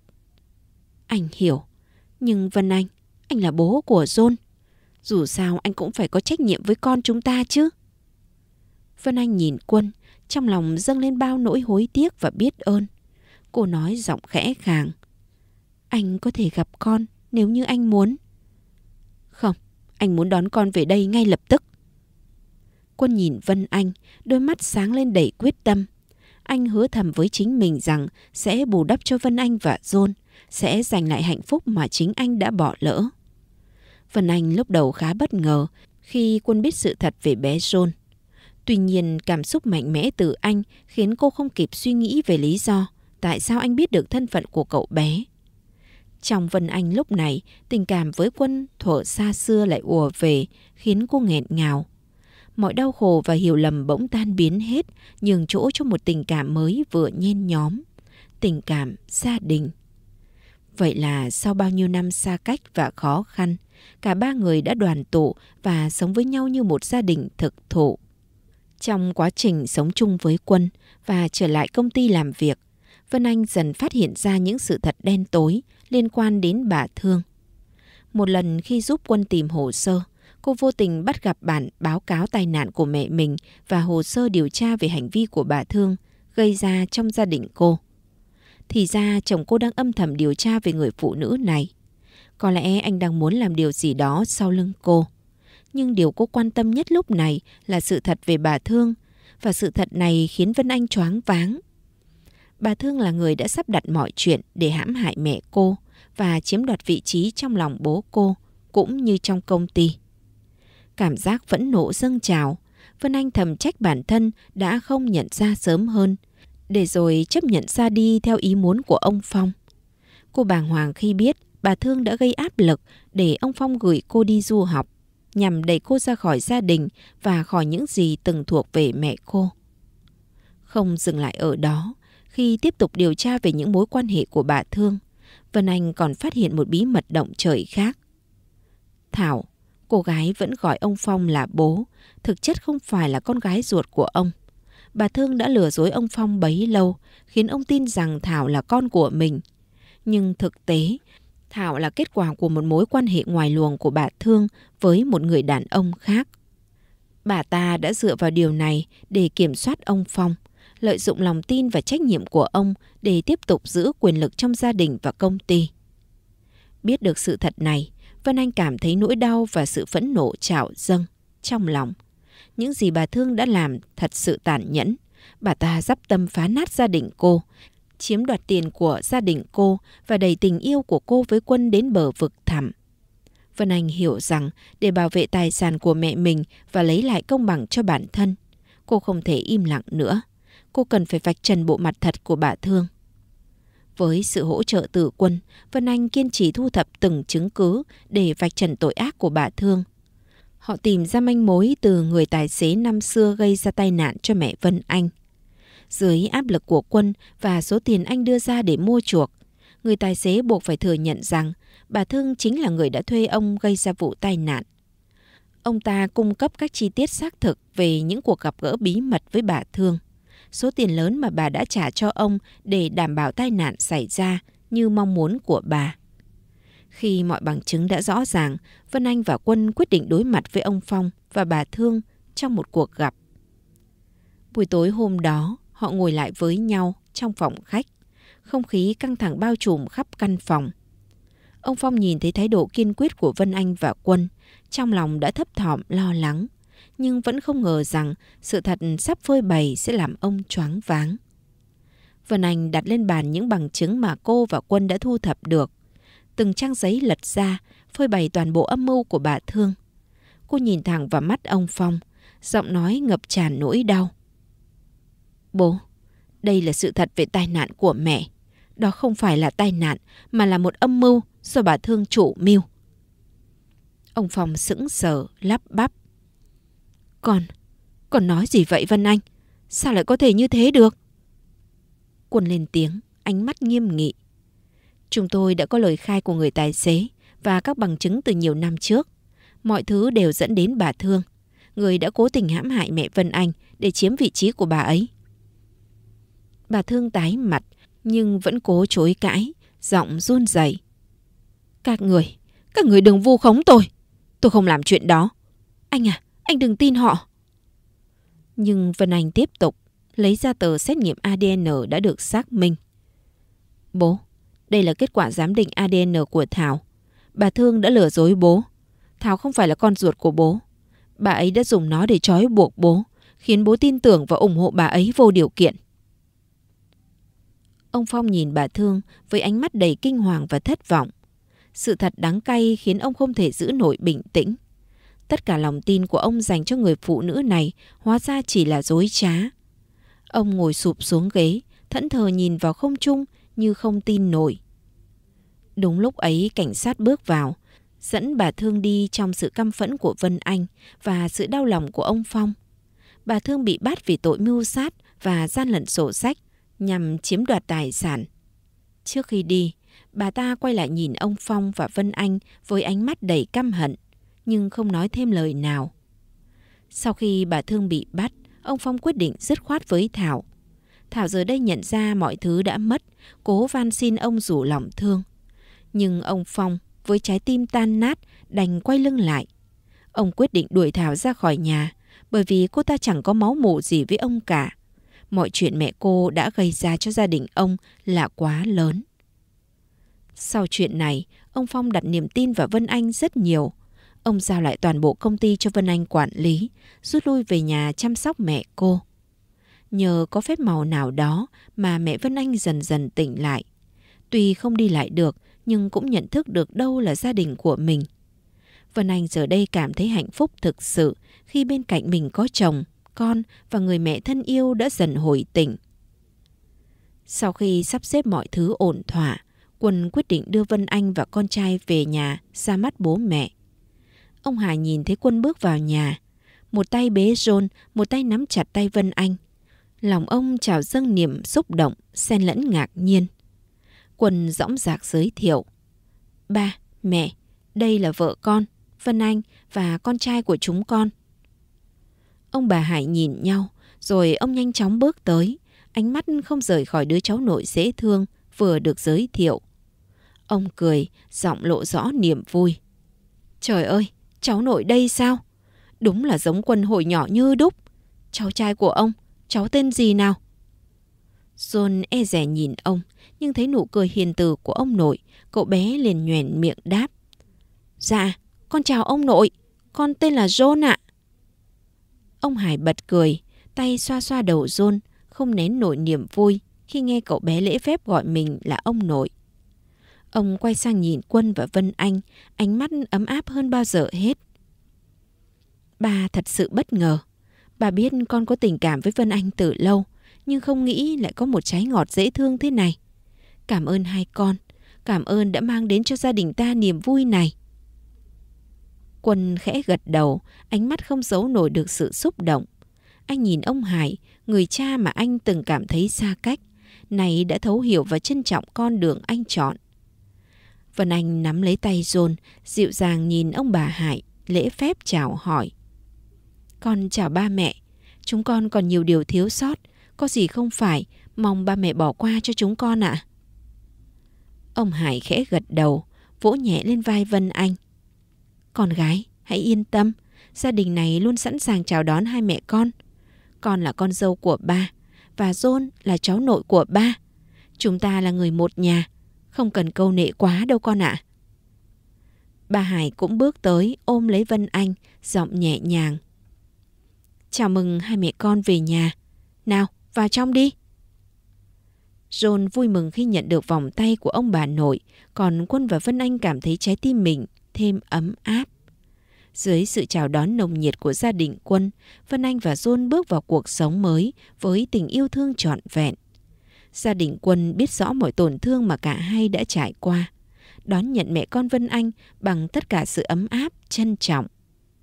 Họ chào đón cậu bé John với tình cảm của những người ruột thịt, yêu thương, chăm sóc, bù đắp cho những tháng ngày thiếu vắng tình thương. Ngày cưới của Quân và Vân Anh diễn ra trong không khí trang trọng nhưng cũng vô cùng đầm ấm. Bạn bè người thân từ cả hai phía đều chúc phúc, chứng kiến tình yêu đầy thử thách nhưng sâu sắc của họ. Đứng giữa những lời chúc phúc và ánh mắt yêu thương, Vân Anh không khỏi xúc động khi nắm tay Quân, cảm nhận tình yêu anh trao cho cô, một tình yêu đã trải qua bao thăng trầm, cuối cùng cũng đến được bến bờ hạnh phúc. Trong đám cưới tràn ngập niềm vui của Quân và Vân Anh, không ai ngờ rằng lại có thêm một cuộc gặp gỡ thú vị khác. Khi Quân đang tiếp đón khách, anh bỗng chú ý đến chú Bảy, người mà anh rất kính trọng nhưng luôn nổi tiếng là người chậm lặng và nghiêm túc. Đang trò chuyện đầy hứng khởi với Bình, cô bạn thân của Vân Anh, Quân hơi ngạc nhiên khi thấy chú mình có vẻ thoải mái và vui vẻ lạ thường. Vân Anh cũng nhận ra ngay sự ăn ý tự nhiên giữa hai người. Cô mỉm cười nhìn Bình rồi khẽ ghé vào tai Quân, nói nhỏ. Anh có thấy không? Bình nhà em có vẻ bị chúng tiếng xét ái tình rồi. Quân gật đầu không giấu được niềm vui. Còn chú Bảy của anh thì đây là lần đầu anh thấy chú thân mật với một cô gái đấy. Họ đúng là có nét gì đó hợp nhau. Cả hai nhìn nhau, trong lòng khấp khởi như những ông mai bà mối bất đắc dĩ nhưng thành công.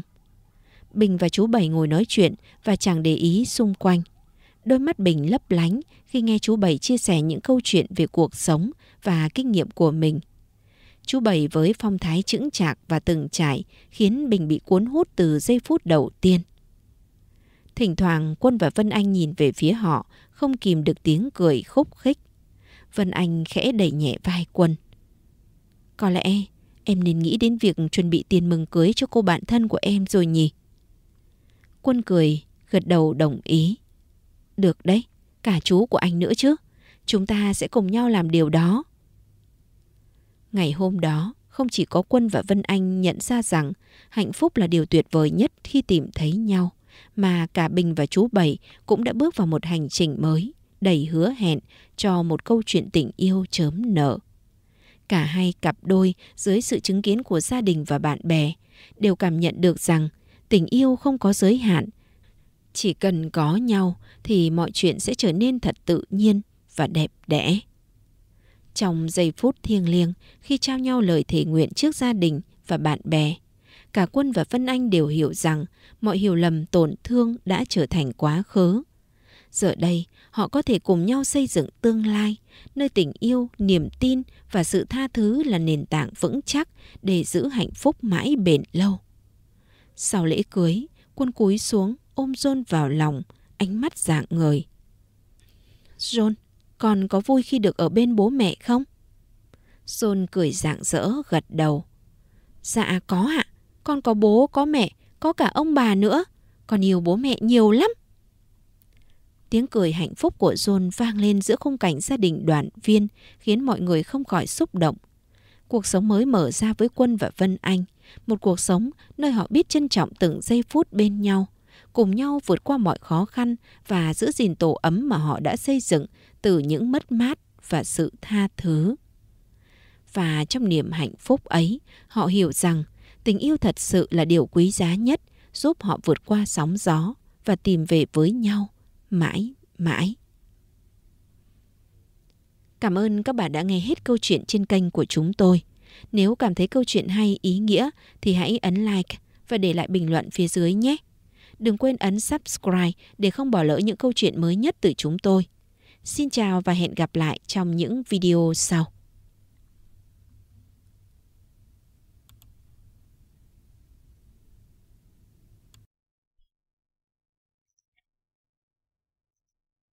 Cái nắng hè tháng 5 gay gắt khiến con người ta không muốn bước chân ra khỏi nhà. Tôi đang ngồi chơi với cô Mít thì mẹ tiến vào phòng. Xem thế nào mà về bên ấy đi chứ con. Chứ cứ định ở đây mãi thế à? Con đợi ngày mai rồi về. Thôi, hôm nay về luôn đi. Ở ngoại lâu quá, nhà người ta không thích đâu. Nghe mẹ nói thế, tôi đành phải đứng dậy gói ghém đồ đạc ra về. Mít cứ ôm lấy tôi rồi thủ thể. Ngày mai chị Thương nhớ qua chơi tiếp nhé. Không là Mít không cho chị Thương về đâu. Biết rồi, ngày mai chị lại đến mà. Tôi tạm biệt thằng bé rồi bắt taxi về nhà chồng. Về đến nơi, tôi thấy một cô gái trẻ, độ tuổi đang đôi mươi, đang ngồi nói chuyện vui vẻ với mẹ chồng tôi. Ánh mắt nụ cười của bà hệt như lần đầu tiên mà bà gặp tôi, lúc tôi và anh Thành chưa cưới nhau vậy. Mẹ chồng tôi thấy tôi thì sắc mặt đột ngột chuyển sang lạnh tanh. Sao chị về sớm thế? Hôm qua chị bảo hết ngày mai mới về cơ mà. Dạ, con ở chơi cũng khá lâu rồi, nên hôm nay về luôn ạ. Mà ai đây hả mẹ? Đây là Diễm, từ nay con bé sẽ làm giúp việc cho nhà mình. Con bé mới ở dưới quê lên, cho nên có cái gì nó chưa biết, chịu khó bày cho em nó một tí nhé. Tôi thắc mắc, nhà mình xưa nay đâu có thuê giúp việc gia đình đâu, mà tự dưng giờ lại thuê vậy hả mẹ? Cái vần ở bên cạnh lại bỏ mồm vào. Chị hỏi lắm thế, chị làm dâu nhà này, nhưng có đỡ đần mẹ được cái gì đâu. Bây giờ mẹ già rồi, nên phải thuê giúp việc đỡ đần công việc nhà chứ. Tôi đã cố gắng nhịn Vân hết lần này đến lần khác, nhưng bây giờ tôi không thể chịu đựng thêm được nữa. Em chồng à, em cũng một vừa hai phải thôi. Chị không phải là đứa lười nhác, trốn tránh việc nhà. Chỉ có thời gian vừa rồi chị phải tính dưỡng, cho nên mới phải để mẹ làm mọi việc. Bây giờ chị đã không còn phải kiêng cỡ gì nữa. Chị tự khắc sẽ biết làm việc của chị. Chị biết em không hài lòng với chị, nhưng cái gì phải ra cái đó chứ. Gớm, chị làm được cái gì giỏi giang mà nói nhiều thế. Cái loại không đẻ được mà còn vênh váo lên mặt nữa. Anh tôi còn chưa đuổi cổ chị ra, đã là may mắn lắm rồi. Em quá đáng vừa thôi chứ.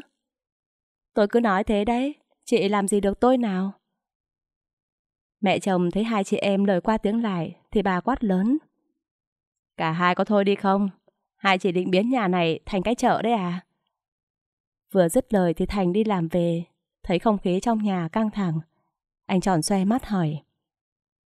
Có chuyện gì mà ai cũng cau có thế? Còn cô gái lạ mặt này là ai nữa? À, đây là Diễm, người giúp việc cho gia đình ta. Ừ, có người giúp việc cũng tốt, mẹ và Thương sẽ đỡ vất vả hơn. Diễm nhanh chóng chào hỏi, rồi cất cặp sách cho Thành. Tôi không có ác ý gì với Diễm, nhưng quả thật, tôi thấy việc đưa Diễm vào căn nhà này của mẹ chồng và Vân quả thật có gì đó rất đáng ngờ. Tôi và Thành đã kết hôn với nhau gần 3 năm, nhưng vẫn chưa có con. Đi khám thì bác sĩ kết luận tôi bị u nang buồng trứng, mặc dù trước đó không hề có bệnh. Nguyên nhân có thể do tôi bị stress quá mức. Không chấp nhận số phận nghiệt ngã, tôi và Thành đã bỏ ra nhiều thời gian và tiền bạc để tìm kiếm một đứa con, nhưng mãi vẫn chưa có kết quả tốt. Trở về nhà chồng sau mấy ngày nghỉ ngơi tĩnh dưỡng, sự xuất hiện của Diễm khiến tôi có linh cảm những chuyện không hay sắp xảy ra. Mấy năm nay, chỉ vì chăm chỉ vào việc tìm con, nên tôi cũng không chăm sóc được gì cho anh Thành. Bây giờ tôi nên bù đắp lại những thiếu sót trong quãng thời gian qua cho anh. Khi mẹ chồng và Vân đang tập trung chỉ việc cho Diễm, thì tôi đến nói nhỏ với chồng. Anh tắm rửa xong, lên nhà, em xoa bóp lưng cho. Thành kinh ngạc nhìn tôi hỏi lại. Thật không? Thật. Dạo này em rảnh, em sẽ phục vụ anh. Chứ chả mấy hôm nữa em đi làm lại, thì anh không được hưởng đặc quyền đó nữa đâu. Thành nghe xong cười tươi. Vậy để anh tắm thật nhanh, rồi lên liền nhé. Anh tắm xong liền nhanh chóng chạy lên lầu với tôi. Tôi vừa xoa bóp, vừa líu lo kể chuyện mấy ngày qua. Tôi nô đùa ở bên nhà ngoại vui vẻ như thế nào. Thành thấy tôi tươi cười trở lại như thế, anh cũng vui lây. Cuộc sống vợ chồng nhiều khi cũng rất cần có đứa con để kết nối. Tôi và Thành vẫn chưa có được may mắn đó. Nhưng bù lại, hai vợ chồng thật sự yêu thương nhau. Dù chưa quyết định đi thụ thai liền, nhưng cái tuyết, đứa bạn thân thuở còn tấm bé, khuyên tôi vẫn nên đều đặn đi khám tổng quát, định kỳ để theo dõi. Tuyết giới thiệu cho tôi một bệnh viện tư khá là có tiếng. Dù là rất chán nản với việc phải đến bệnh viện, nhưng tôi vẫn nghe lời của Tuyết vì biết cô bạn đã hết lòng giúp đỡ mình. Đến bệnh viện, tôi đọc tên tuổi và được y tá dẫn vào phòng khoa hỗ trợ sinh sản. Mở cửa bước vào, y tá giới thiệu. Đây là bác sĩ Đại, trưởng khoa của chúng tôi đấy. Chị nằm lên giường, đợi bác sĩ chuẩn bị thăm khám cho nhé. Tôi kinh ngạc khi thấy vị bác sĩ trước mặt mình chính là người anh trai mà mình đã cắt đứt liên lạc 5 năm nay. Tôi nhìn anh rồi nhìn y tá đáp lại. Tôi... tôi có công việc đột xuất, lúc khác tôi sẽ quay lại. Đại nhìn tôi rồi y tá và nói Đổi bác sĩ khác cho cô ta. Nhìn nét mặt lạnh tanh của Đại nên cô y tá không dám cãi lời mà dẫn tôi sang một căn phòng khác. Là anh em một nhà với nhau nhưng vì những chuyện không hay xảy ra trong quá khứ. Giờ đây tôi và Đại còn chẳng bằng người lạ nữa. Bệnh viện khá rộng lớn, đông bệnh nhân tới thăm khám, nên dù đã đặt lịch trước thì tôi cũng phải chờ mãi. Đến tận hơn 11 giờ trưa mới nhận được kết quả. Về đến nhà, tôi lấy làm áy náy khi cơm canh đã xong xuôi. Tôi nói với mẹ chồng. Con xin lỗi mẹ, hôm nay con đi khám, nhưng do bệnh viện đông người, nên là đợi mãi mới có kết quả. Con về nhà hơi muộn à? Bà liền lạnh đành đáp. Ờ, con xin phép mẹ lên thay đồ rồi xuống à? Nhanh nhanh lên chứ, cả nhà đợi chị, nên cơm canh cũng nguội hết rồi đây này. Dạ vâng. Khi lên đến cầu thang, bất chợt tôi nghe tiếng của Diễm leo lèo. Chị thương đúng là gái phố có khác bác nhỉ. Dưới quê cháu, không có chuyện con dâu đi ra ngoài từ sáng trốn tránh việc nhà đến tận trưa mới về như vậy đâu. Tôi bất ngờ trước câu nói của Diễm. Linh cảm của tôi quả thật không hề sai. Bề ngoài, Diễm trông mộc mạc, thật thà, nhưng tâm địa nó tôi không thể không nghi ngờ được. Tôi bước xuống nhà thì thấy Thành còn đang băng bó cho Diễm. Cắt mỗi quả ớt thôi mà cũng để đứt tay. Diễm cười hì hì. Lúc thấy tôi, nó còn nắm chặt tay của Thành rồi nũng nịu. Tại em mãi nhìn anh nên mới thế đấy. Thành quay sang thấy tôi đang đứng ngơ ngác nhìn anh. Anh chẳng bất ngờ gì mà còn hồn nhiên nói. Này, có khi vợ phải dạy cho cái diễm một khóa nữ công gia tránh đi. Mang tiếng là giúp việc mà kém kinh khủng. Tôi thấy trướng mắt trước bộ dạng đó của Diễm. Tôi lên tiếng thẳng thừng. Em không thích anh động chạm tay chân với người con gái khác như vậy đâu nhé. Thì do dễ bị đứt tay nên anh mới giúp con bé một chút. Em nghĩ gì xa xôi thế? Mẹ chồng tôi lại thêm dầu vào lửa. Đấy đấy, đã không làm được gì rồi, còn ghen tuông vớ vẩn. Cái gì em nó đang bị thương rồi. Cô cũng còn kiếm được cớ để hạch sách nó nữa. Người xưa nói quả không sai, đúng là cây độc không trái, gái độc không con. Tôi ứa nước mắt khi nghe câu nói của mẹ chồng. Đúng là thời gian gần đây, bà không còn yêu thương gì tôi nữa. Nhưng đây là lần đầu tiên bà nói ra những lời cay độc như vậy với tôi, chỉ để bảo vệ một người dưng nước lã giống như Diễm. Thành thấy mẹ nói nặng lời như vậy thì liền can ngăn lại. Sao mẹ nói ra câu khó nghe thế? Mẹ nói có gì sai sao? Còn chiều nó quá, cho nên nó mới xình hư như thế đấy. Kéo vài ba bữa nữa, nó lại nhảy lên đầu, lên cổ mẹ ngồi mất thôi. Thôi mà mẹ. Mẹ nói có gì sai? Thành lại quay sang nói với tôi. Do mẹ hơi nóng giận thôi, em đừng có để bụng nhé. Tôi cảm thấy mình giống như bị cô lập trong căn nhà này. Diễm nhìn tôi với vẻ mặt của người chiến thắng. Tôi đã sai lầm khi trúng bẫy của cô ta. Bây giờ cô ta ngày càng được mọi người trong nhà yêu quý. Còn tôi thì đã trở thành một đứa con ghẻ. Tôi lau nước mắt, cố dặn ra từng chữ. Thôi, cả nhà ăn cơm đi. Con đi ra ngoài gặp Tuyết một lát. Khi tôi vừa dứt lời, mẹ chồng tôi lại được đà nói tiếp. Đấy, nó lại chả coi ai trong cái nhà này ra gì. Thích đi đâu thì đi, thích lúc nào về thì về. Tôi mặc kệ những lời mẹ chồng nói và cả tiếng can ngăn của Thành.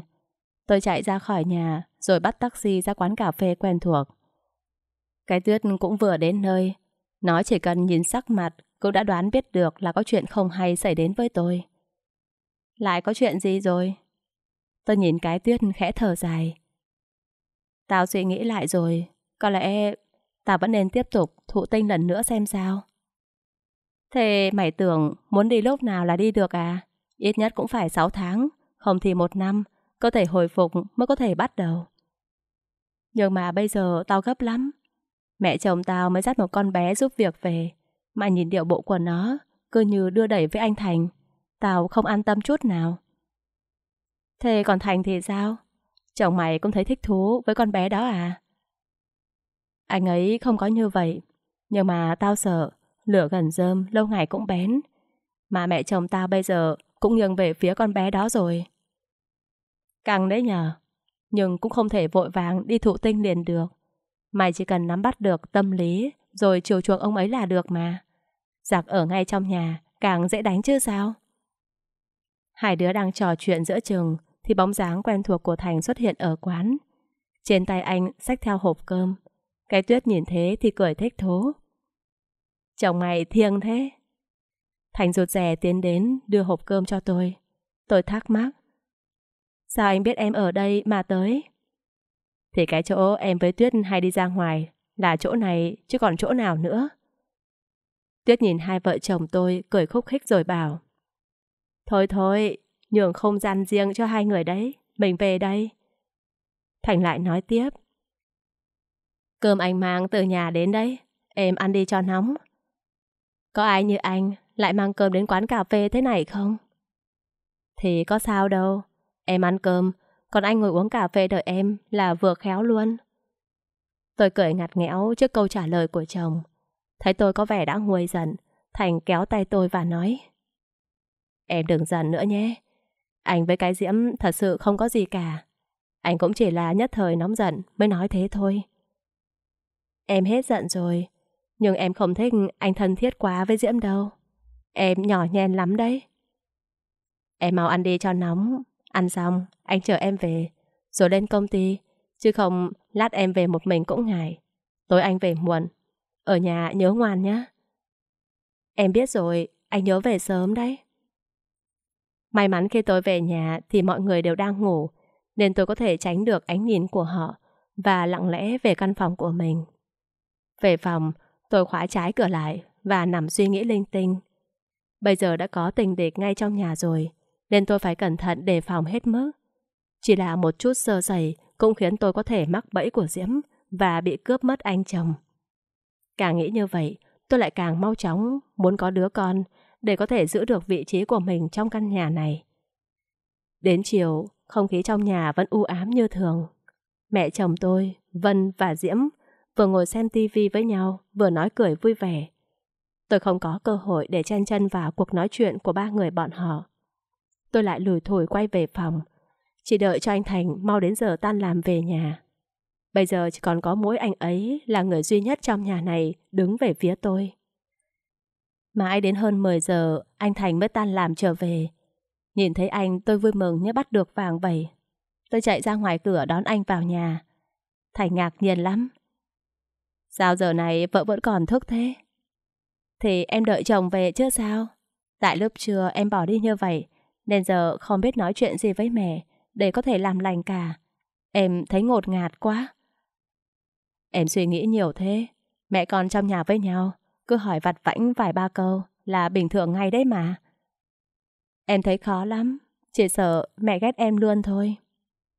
Yên tâm đi, mẹ mình không có nhỏ nhe như vậy đâu. À, ngày mai nhà mình có khách mới đến để ăn cơm. Em tranh thủ cơ hội đó làm lành với mẹ.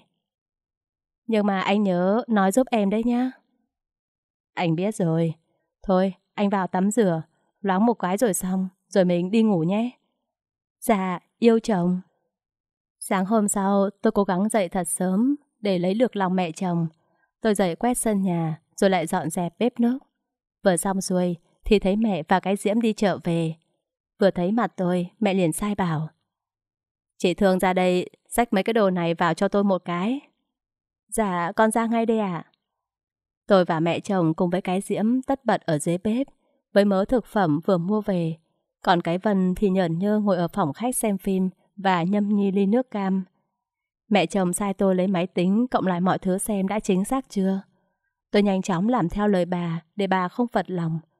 Tôi nghĩ hôm nay là cơ hội tốt để lấy lại thiện cảm trong lòng mẹ, nên tôi cố gắng làm mọi thứ nhanh nhất và gọn gàng nhất. Nhưng chỉ 15 phút sau đó thì sóng gió đã ập tới.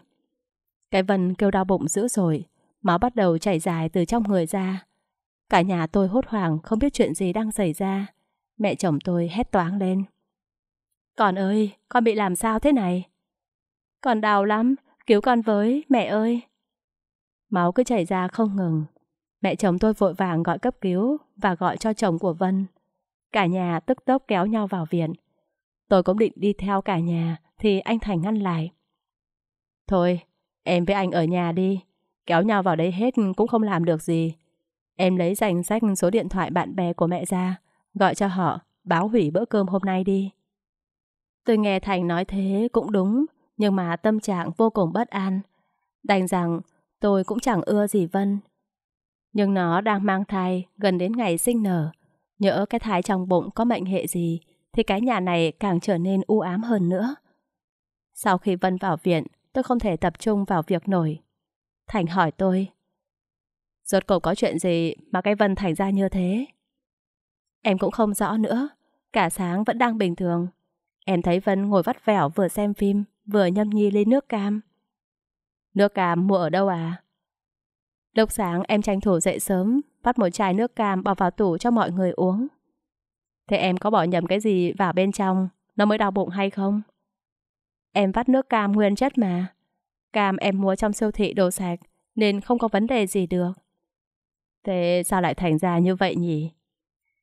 Nghe Thành nói như vậy, tôi bắt đầu cảm thấy lo lắng. Nhưng thật sự là tôi vẫn làm như bình thường, không hề có gì sai sót. Nếu cái Vân có mệnh hệ gì, mẹ chồng tôi liệu có nghi oan cho tôi hay không? Vợ chồng tôi cứ ngóng ra cánh cổng và cuối cùng sau hơn 2 tiếng đồng hồ cũng đã thấy mẹ chồng tôi quay về. Hai vợ chồng tôi vội vàng chạy ra ngõ. Tôi cất tiếng điện hỏi. Vân sao rồi hả mẹ?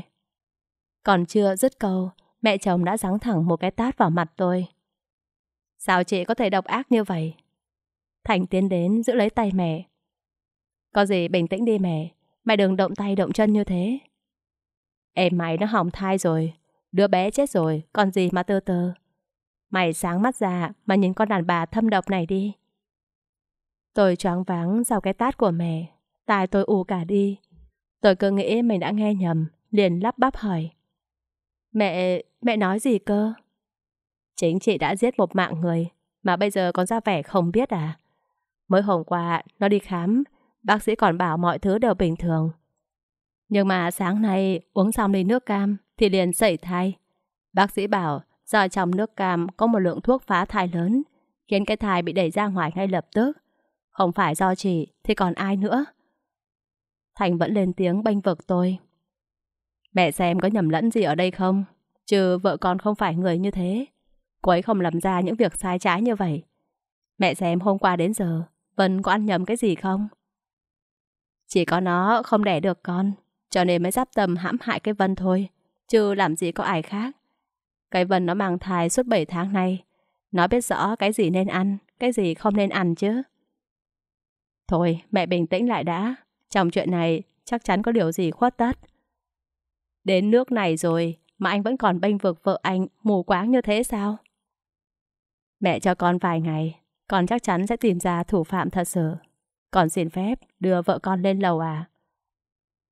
Tôi không hề làm gì sai trái, nhưng đứng trước những lời cáo buộc của mẹ chồng, tôi không có chứng cứ gì để minh oan cho mình, bởi nhà bếp không có camera.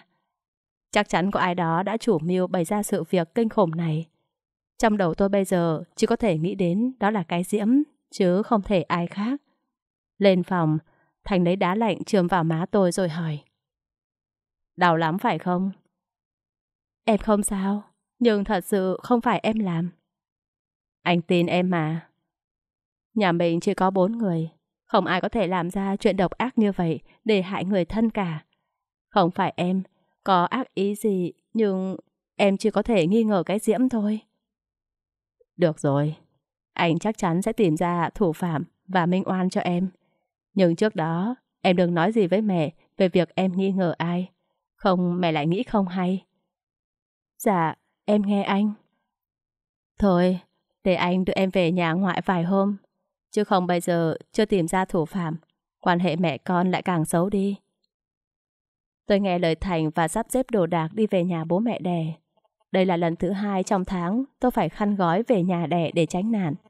Nhưng bây giờ ngoài nơi đó ra, tôi cũng không biết nên đi đâu về đâu cả. Thấy bóng dáng của tôi về, bố mẹ lại thở dài thườn thượt. Này lại có chuyện gì mà sách đồ về đây thế này? Có chuyện gì đâu à? Con nhớ bố mẹ với nhớ mít, cho nên về thăm nhà thôi. Con gái lớn đã lấy chồng rồi, không nên cứ xảy ra chuyện gì cãi nhau một chút là lại về đây được. Người ta sẽ nghĩ không hay. Nhưng thật sự không có chuyện gì xảy ra cả. Con chỉ về chơi thôi. Tôi vội đi vào trong nhà chơi đùa với Mít để tránh những câu hỏi của bố mẹ. Gả con gái đi nhưng không sinh được con cho nhà chồng. Bố mẹ tôi cũng áy náy lắm. Bây giờ nếu để ông bà nghe thấy tiếng tôi bị nghi ngờ hãm hại em chồng thì bố mẹ tôi không biết che mặt vào đâu nữa. Nghĩ vậy, tôi thấy mình không thể ngồi yên, trở thành, mà phải tự mình giải oan cho chính mình. Sáng hôm sau, tôi quay lại khu vực gần nhà chồng để tìm kiếm bằng chứng. Tôi nghĩ kiểu gì thủ phạm cũng sẽ bỏ sót lại một số chứng cứ ở đây. Thành bảo tôi khi yên tâm sang nhà, có gì anh sẽ nói đỡ cho tôi trước mặt mẹ, nên tôi cũng can đảm hơn. Với lại, tôi cũng chẳng làm gì sai, nên không có lý do gì phải chùn bước. May mắn cho tôi khi đã tìm được đến hiệu thuốc gần nhà và trích xuất được hình ảnh Diễm đi mua thuốc phá thai từ hôm trước xảy ra vụ việc. Tôi mừng như bắt được vàng. Tôi nhanh chóng quay về nhà chồng để lật tẩy bộ mặt thật của Diễm. Khi mới đặt chân vào nhà, tôi thấy vẻ mặt đầy thách thức của Diễm, như chỉ trực chờ tôi về đây mẹ chồng tôi nói to. Chị vào đây đi, rồi chúng ta nói chuyện một lát. Tôi tiến đến trước bàn ở phòng khách, rồi khẽ nói. Có phải vì chuyện của Vân không à? Nếu là vì chuyện đó, con đã tìm ra thủ phạm rồi à? Không phải chuyện đó, mà Diễm bảo có chuyện về chị mà con bé muốn nói. Diễm đã cướp mất cơ hội lên tiếng của tôi. Cô ta lớn tiếng nói. Cháu có nghe được chuyện này nên muốn thông báo với gia đình mình. Dù cảm thấy có lỗi với chị Thương, nhưng cháu nghĩ mọi người trong nhà đều có quyền biết chuyện này. Có gì cháu cứ nói đi, mọi người cùng nghe. Chị Thương đây tuy không sinh được con cho nhà mình, nhưng lại có một đứa con riêng 4 tuổi. Và đứa con riêng đó lại chính là người mà chị ấy hay gọi là em trai đấy ạ. Sinh xong con thì chị thường để cho bố mẹ nuôi và giấu nhẹm chuyện này. Tôi nhìn cái diễm như có một luồng điện giật qua, toàn thân tôi như sắp đổ xuống. Mẹ chồng tôi lắp bắp hỏi. Cháu nói cái gì cơ? Mà cháu nghe chuyện này ở đâu? Chuyện cháu nghe tin này ở đâu có quan trọng. Bác nhìn chị ta xem, chị ấy có chối cãi được gì đâu. Trời ơi lạ trời, sao tôi lại rước cái loại đàn bà như thế này vào nhà chứ?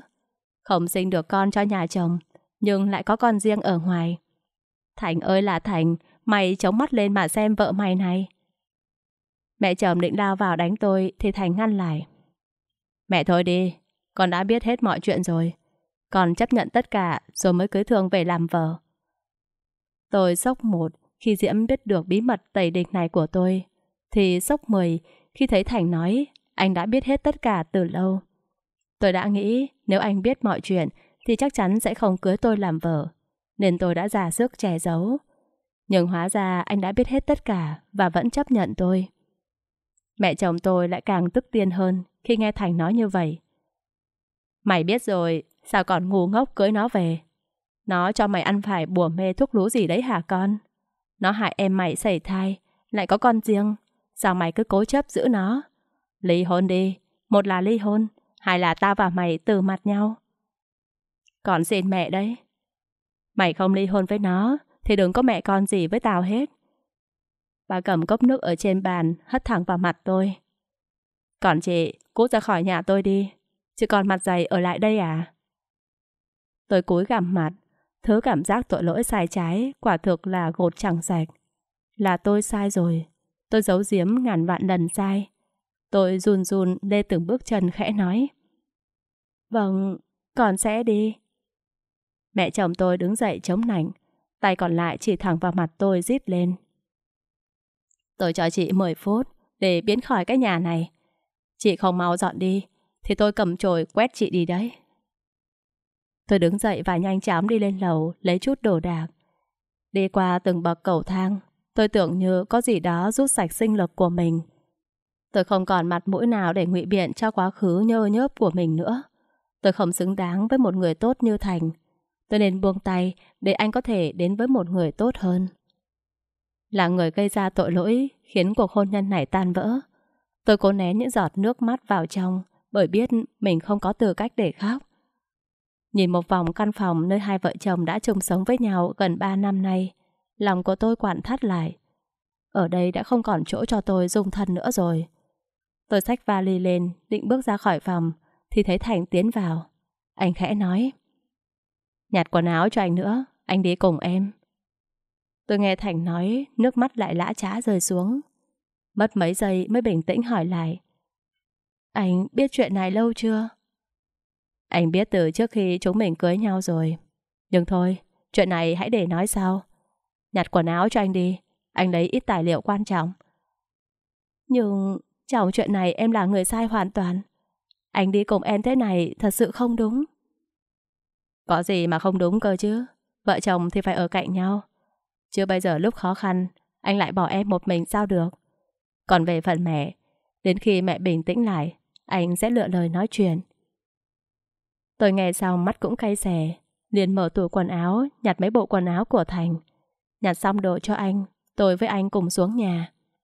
Mẹ chồng tôi nhìn tôi và Thành nghiến răng nói Mày có gan đi được thì đừng về, coi như cái nhà này không có đứa con như mày. Thành không đáp lời mẹ, mà ôm lấy vai tôi cùng đi ra khỏi nhà. Vợ chồng tôi bắt taxi đến một khách sạn nào đó ở tạm thì chợt tiếng điện thoại của mẹ tôi gọi tới. Con về nhà ngay đi. Sao thế hả mẹ? Có chuyện gì vậy? Thì còn chuyện gì nữa? Bà thông gia vừa gọi điện cho mẹ. Bà ta biết cả rồi. Về đi xem nào. Tôi không ngờ mẹ chồng tôi lại gọi điện cho bố mẹ tôi nhanh đến vậy. Thành nắm chặt lấy bàn tay tôi, khiến tôi cảm thấy yên tâm hơn. Về đến nhà, cái mít đã chạy ra ôm chầm lấy tôi. Hoan hơ, chị Thương về rồi. Bố mẹ tôi thấy có cả Thành về cùng thì thấy làm lạ. Ông bà cứ nghĩ nếu biết chuyện, chắc chắn Thành sẽ không luyến tiếc mà bỏ tôi đi. Tôi liền giải thích. Anh Thành đã biết hết mọi chuyện từ lâu rồi ạ. À? Bố mẹ tôi lấy làm ngạc nhiên. Tôi nhanh chóng dẫn Mít vào phòng xem hoạt hình để người lớn nói chuyện. Bố mẹ và cái thương không còn mặt mũi nào để nhìn con, Thành à. Thành khẽ nói. Không sao đâu bố mẹ, con đã biết và chấp nhận quá khứ của cô ấy trước khi cô ấy về làm vợ con rồi. Bố mẹ cũng đừng cảm thấy có lỗi với con. Cảm ơn con vì đã bao dung với Thương. Nhưng có lẽ ông bà thông gia sẽ khó mà chấp nhận được chuyện này. Nhưng ai là người đã nói cho ông bà thông gia biết chứ? Tôi lắc đầu. Là do con bé giúp việc nói với mẹ chồng con. Nhưng con cũng không rõ làm sao mà cô ấy biết được trong khi nhà mình ai nấy đều giữ kín chuyện này. Thôi, hai đứa vào giường nghỉ ngơi đi. Chắc từ sáng đến giờ ở bên kia cũng loạn hết cả lên rồi. Thành lên tiếng. Em vào trong phòng nghỉ ngơi đi. Còn xin phép bố mẹ, con lên công ty làm việc tiếp. Ừ, con đi cẩn thận nhé. Sau khi Thành đi rồi, tôi vào phòng ngắm nhìn Mít đang vui vẻ xem hoạt hình. Cái Mít nó không có tội lỗi gì cả. Tất cả đều là do tôi mà ra. Nhưng chuyện gì thì ra chuyện đó. Tôi vẫn phải chứng minh mình vô tội đối với việc Vân bị sẩy thai. Tôi gửi đoạn video mình tìm được cho Vân và để nó tự nhìn nhận xem ai mới là kẻ độc ác gây ra cái chết của đứa con trong bụng nó. Nhìn vẻ mặt ngây thơ và ánh mắt long lanh kia của Mít khiến tôi lại càng thêm chạnh lòng. Tôi ôm chầm lấy thằng bé, cảm giác yên bình hiếm hoi mà tôi cảm nhận được trong ngày hôm nay chính là giây phút này. Tôi ngủ thiếp đi vì mệt mỏi. Đến chiều, Thành vừa mới về nhà được một lúc thì người anh hờ của tôi là Đại cũng mới về tới nhà. Thấy tôi và Thành ở đây, Đại tỏ ra không vui vẻ gì, nhưng Thành vẫn niềm nở chào hỏi. Anh Đại hôm nay cũng về ăn cơm mà. Công việc có bận không anh? Đại đáp lại nhạt nhẽo. ờ bận. Câu trả lời cộc lốc của anh khiến cho chồng tôi có vẻ bị hẫng. Bố tôi thấy vậy liền chữa cháy. Lâu lắm rồi cả nhà mình mới đông đủ. Cả nhà vào ăn cơm luôn đi cho nóng. Có trẻ nhỏ trong nhà nên bữa cơm đầy áp tiếng cười nói. Thằng bé cứ líu lo kể chuyện đi học rồi kể chuyện bạn bè của nó. Anh Thành thấy nó dễ thương cho nên liên tục ra đầu nó rồi cười. Duy chỉ có Đại là bày ra vẻ mặt cao có như thể ai đó chọc giận anh ta vậy. Tối hôm ấy, Mít đòi ngủ chung với tôi nhưng mẹ ngăn lại. Không được đâu, chị thường phải ngủ chung với anh Thành. Còn con, đi ngủ với mẹ nhá. Mít liền mẹ nhau. Mít không chịu đâu. Lần nào chị ấy về cũng ngủ với con. Sao hôm nay lại ngủ với anh Thành cơ chứ? Anh Thành với chị Thương là vợ chồng nên phải ngủ với nhau. Sau này lớn lên con sẽ hiểu. Mít vẫn không chịu nghe theo lời mẹ tôi. Mẹ tôi đành phải bế thấp thằng bé về phòng để tôi và Thành có không gian riêng. Sáng hôm sau ngủ dậy, Thành và tôi quyết định tìm một chỗ ở mới cho hai vợ chồng. Sau khi xem xét vài chỗ, cuối cùng Thành và tôi quyết định sẽ chọn một chung cư ở gần nhà bố mẹ chồng tôi. Khi hợp đồng đã hoàn thành, chúng tôi chuyển ngay vào đó. Nhưng đúng lúc đó, Thành lại phải đi công tác, nên một mình tôi tự sắp xếp, trưng bày lại căn nhà mới của hai vợ chồng. Trong lúc xếp lại đống quần áo, tôi thấy một chiếc áo sơ mi màu cam nhạt khá lạ.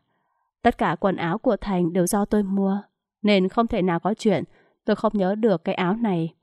Nhìn đi nhìn lại thì thấy chiếc áo này có chút quen thuộc. Hay là anh được ai tặng quà?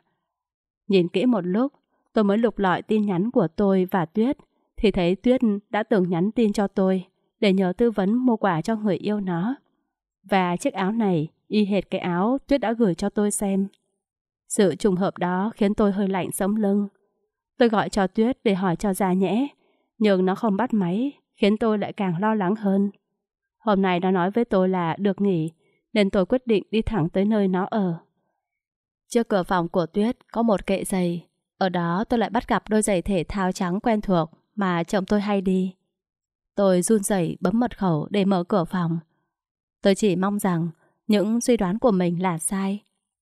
Tôi khẽ bước từng bước một vào bên trong. Trong tiếng nhạc sôi động vang lên từ căn phòng ngủ, xen kẽ vào đó là giọng nói quen thuộc của chồng tôi. Sao hôm nay trông em ngon thế? Anh không chịu được nữa rồi. Mở hé cánh cửa phòng ngủ, tôi thấy Tuyết và Thành đang trần chuồng với nhau. Tôi òa khóc như một đứa trẻ. Người bạn thân nhất của tôi từ khi còn tấm bé mà tôi coi như chị em ruột và người chồng mà tôi luôn tin tưởng yêu thương lại đang phản bội tôi. Chỉ trong một khoảnh khắc, tôi đã cùng lúc đánh mất hai người quan trọng nhất trong cuộc đời mình. Tôi không thể chửi bậy hay lao vào đánh hai người họ, nhưng cái cách mà người ta hay đi đánh ghen thường làm, sự bất lực bao trùm lấy con người tôi. Thành và Tuyết hốt hoảng khi bị tôi bắt quả tang ngay tại trận. Thành vội vàng mặc quần áo rồi đến đỡ tôi dậy, trong khi Tuyết không nói gì, chỉ trùm chăn kín hết người. Thường à, em nghe anh giải thích. Dù trong người đang mệt mỏi, nhưng tôi cố gắng đẩy Thành ra và cố gắng rời khỏi căn phòng đó. Thành loay hoay mặc lại quần áo gọn gàng, trong khi tôi đã lên taxi và về trước. Suốt chặng đường về căn nhà mới của mình, tôi cứ khóc òa lên mãi, mặc kệ ánh mắt đầy ái ngại của chú lái taxi dành cho mình. Bây giờ, tôi đã hiểu vì sao cái Diễm lại biết được chuyện tôi có con riêng. Người nhà tôi chắc chắn không kể ra, thì duy nhất người còn lại biết được câu chuyện này của tôi chính là Tuyết, chứ không ai khác. Tuyết âm mưu cướp chồng tôi, nhưng tôi không hề hay biết mà đem kể hết mọi chuyện ra với con rắn độc ngay bên cạnh mình. Còn Thành, bấy lâu này tôi cứ đinh ninh anh thật lòng yêu thương tôi.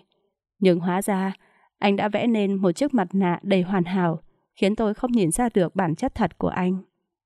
Về đến nhà, tôi cũng chỉ biết khóc và tự trách mình ngu ngốc. 30 phút sau, Thành quay về nhà. Anh quỳ dưới chân tôi. Anh xin lỗi em, anh sai thật rồi. Anh và cô ta quen nhau bao lâu rồi? Mới đây thôi. Mới đây hay là ba năm trước? Em hãy tin anh đi mà. Tôi làm sao tin nổi khi chứng kiến hai người như thế với nhau chứ? Hóa ra chuyện tôi có con riêng và cái Diễm biết được mọi chuyện đều do Tuyết mà ra. Tôi đã nuôi ong tay áo bấy lâu nay. Thôi, tình nghĩa của chúng ta từ đây cũng kết thúc. Tôi bỏ vào phòng ngủ rồi khóa cửa lại và tiếp tục khóc lóc, mặc cho sự van xin thảm thiết của Thành ở phía bên ngoài. Đã có những đêm tôi thức trắng vì lo chuyện tìm kiếm con, nhưng chưa đêm nào lại dài đằng đẵng như đêm nay. Chưa khi nào lòng tôi quặn thắt đến thế này. Tôi thức trắng đêm, đến khi nghe tiếng Thành đã rời khỏi nhà, tôi mới ra bên ngoài. Tôi thấy Thành đã mua sẵn đồ ăn sáng cho tôi, nhưng nhớ lại hình ảnh hai người đó trần chuồng với nhau, khiến tôi cảm thấy thật kinh tởm. Đúng lúc đó có tiếng chuông cửa vang lên. Tôi mở cửa thì thấy mẹ tôi đến. Mẹ mang cho tôi một ít đồ ăn tự làm. Thấy sắc mặt của tôi u sầu, mẹ liền gặng hỏi. Hôm nay lại có chuyện gì đấy? Con và anh Thành sẽ ly hôn. Sao lại ly hôn? Anh ta ngoại tình với Tuyết. Những tưởng tôi nói vậy xong, mẹ sẽ đồng ý và đứng về phía tôi. Nhưng mẹ tôi lại gào lên. Tao không đồng ý cho mày ly hôn. Ngoại tình thì vẫn tha thứ được. như mày có con riêng, mà nó vẫn chấp nhận đấy thôi. Đây là hai chuyện hoàn toàn khác nhau mà mẹ. Chuyện cái mít, con đã có ý định nói ngay từ đầu, nhưng là bố mẹ ngăn cấm. Và khi con định mở lời, thì anh ấy đã gạt đi. Con nhất định phải ly hôn. Sống an phận đi con hả? Mày đã không sinh con cho nhà người ta được đứa con rồi, thì phải biết chấp nhận những lỗi lầm nhỏ nhặt của người ta chứ. Chuyện cái mít là con của mày, và thằng Đại với chuyện thằng Thành ngoại tình. Mày nghĩ chuyện nào khó chấp nhận hơn? Tôi đứng hình khi mẹ tôi lại lôi cái bí mật lớn nhất của gia đình ra để nói. Đúng vậy, Mít chính là con của tôi và Đại. Chúng tôi yêu nhau, rồi tôi lỡ có bầu. Nhưng thật không may trong thời điểm đó, mẹ tôi lại tái hôn với người bố ruột của Đại. Tôi và Đại không phải là anh em ruột, không chung với nhau một dòng máu huyết thống nào. Nhưng chúng tôi có con với nhau vẫn là trái với luân thường đạo lý. Tôi đã phải chia tay Đại để mẹ có thể kết hôn, nhưng tôi vẫn giữ lại đứa bé trong bụng. Còn Đại thì đem lòng hận thù với tôi và đi ra nước ngoài sinh sống một thời gian. Anh không biết Mít là con của tôi và anh, mà nhầm tưởng rằng tôi yêu đương với một người đàn ông nào khác nữa trong lúc đang hẹn hò với anh rồi có con, nên chúng tôi mới chia tay nhau. Chuyện gia đình tôi giống như một thước phim vô thực, nhưng đầy đau đớn. Chính vì vậy mà trong nhà tôi, mọi người nhìn nhau vẫn có sự né tránh nhất định bởi câu chuyện oái âm này. Tôi cứng họng khi mẹ nói ra những lời như vậy. Bà cũng biết mình đã lỡ lời, nên sau khi dứt câu, bà bỏ về luôn. Còn tôi vẫn giữ nguyên quyết định sẽ ly hôn với Thành. Tôi lại xếp đồ rời khỏi căn chung cư mà tôi và Thành đã thuê với nhau, rồi dọn đến một căn chung cư gần đó. Tôi muốn thời gian này có thể ở một mình và suy nghĩ lại tất cả mọi chuyện. Từ ngày Thành bị tôi phát hiện ngoại tình, ngày nào anh cũng gọi đến với bài ca xin tha thứ. Tắt máy xong, tôi nhận được tin nhắn của Thành. Anh xin em nghĩ lại khoảng thời gian trước kia. Đừng ly hôn với anh. Chúng ta còn mơ ước phía trước. Còn mơ ước tìm con nữa cơ mà. Giả sử như Thành ngoại tình với một người xa lạ mà tôi không hề hay biết, thì có lẽ tôi đã có thể tha thứ cho anh. Nhưng đằng này lại là với Tuyết, nên tôi không thể nào bao dung được. Thì ra cảm giác bị đâm sau lưng bởi những người quan trọng trong cuộc đời mình chính là như vậy. Cuối tuần tôi về nhà để dự sinh nhật bố. Đại cũng có ghé đến. Trong bữa ăn, ông lựa lời hỏi tôi. Còn với thằng Thành định thế nào? Dạ, chắc chúng con dừng lại ở đây thôi à. Nghe bố nói này, đàn ông nhiều khi khó tránh khỏi cám dỗ. Con thử mở lòng tha thứ cho nó một lần xem. Chuyện vợ chồng không thể nói bỏ là bỏ ngay được. Tôi không muốn cãi nhau bèn đáp. Vâng ạ, thôi chuyện đó để sau đi. Nhưng con mong dù con quyết định thế nào, bố mẹ cũng sẽ tôn trọng con. Khi tôi về, Min có chút không nỡ. Thằng bé cứ ôm chặt lấy cơ thể tôi. Tôi ôm nó vào lòng và nói Mít ngoan để chị về. Chị hứa với Mít là hôm sau chị sẽ đón Mít qua nhà chị chơi nhé. Chị hứa thì phải giữ lời đấy. Chị hứa mà. Tôi vẫy tay chào Mít rồi ra về. Ra đến cổng, tôi gặp Đại đang đứng ở gốc cây trước cổng. Tôi định im lặng lướt qua, thì nghe giọng anh vọng lại. Tôi thật sự không hiểu nổi con người cô. Ý anh là sao? Cô hẹn hò với tôi, rồi lại có con với người đàn ông khác. Cô không cưới người đàn ông đã có con chung với cô, mà lại cưới Thành. Bây giờ nó ngoại tình, thì cô lại dãy nảy lên, đòi ly hôn. Anh không biết rõ chuyện, thì đừng có ăn nói hồ đồ. Có gì mà tôi không biết chứ? À, tôi chỉ không biết da mặt cô dày đến cỡ nào nữa thôi. Tôi không muốn tranh cãi với Đại, vì sợ trong lúc nóng giận sẽ nói với Đại hết sự thật. Tôi nhanh chóng bắt taxi ra về. Đại vốn là người sống tình cảm nhẹ nhàng, nhưng sau cú sốc tình cảm mà tôi gây ra cho anh, anh trở nên là một người cục cằn, lạnh lùng và ít nói hẳn. Tôi biết mình có lỗi với Đại nhiều lắm, nhưng chẳng thể nào mở miệng nói ra được câu xin lỗi hẳn hoi. Trong lòng tôi vẫn còn tình cảm, sự ân hận và tiếc nuối khi đối diện với anh. Giờ đã không còn phải dưỡng sức với việc cấy ghép, nên tôi quyết định quay trở lại làm việc. Từ hôm đó đến giờ, tôi quay cuồng trong công việc, nên không có thời gian sang thăm Mít. Tôi chỉ có thể tranh thủ lúc cuối ngày để gọi cho nó.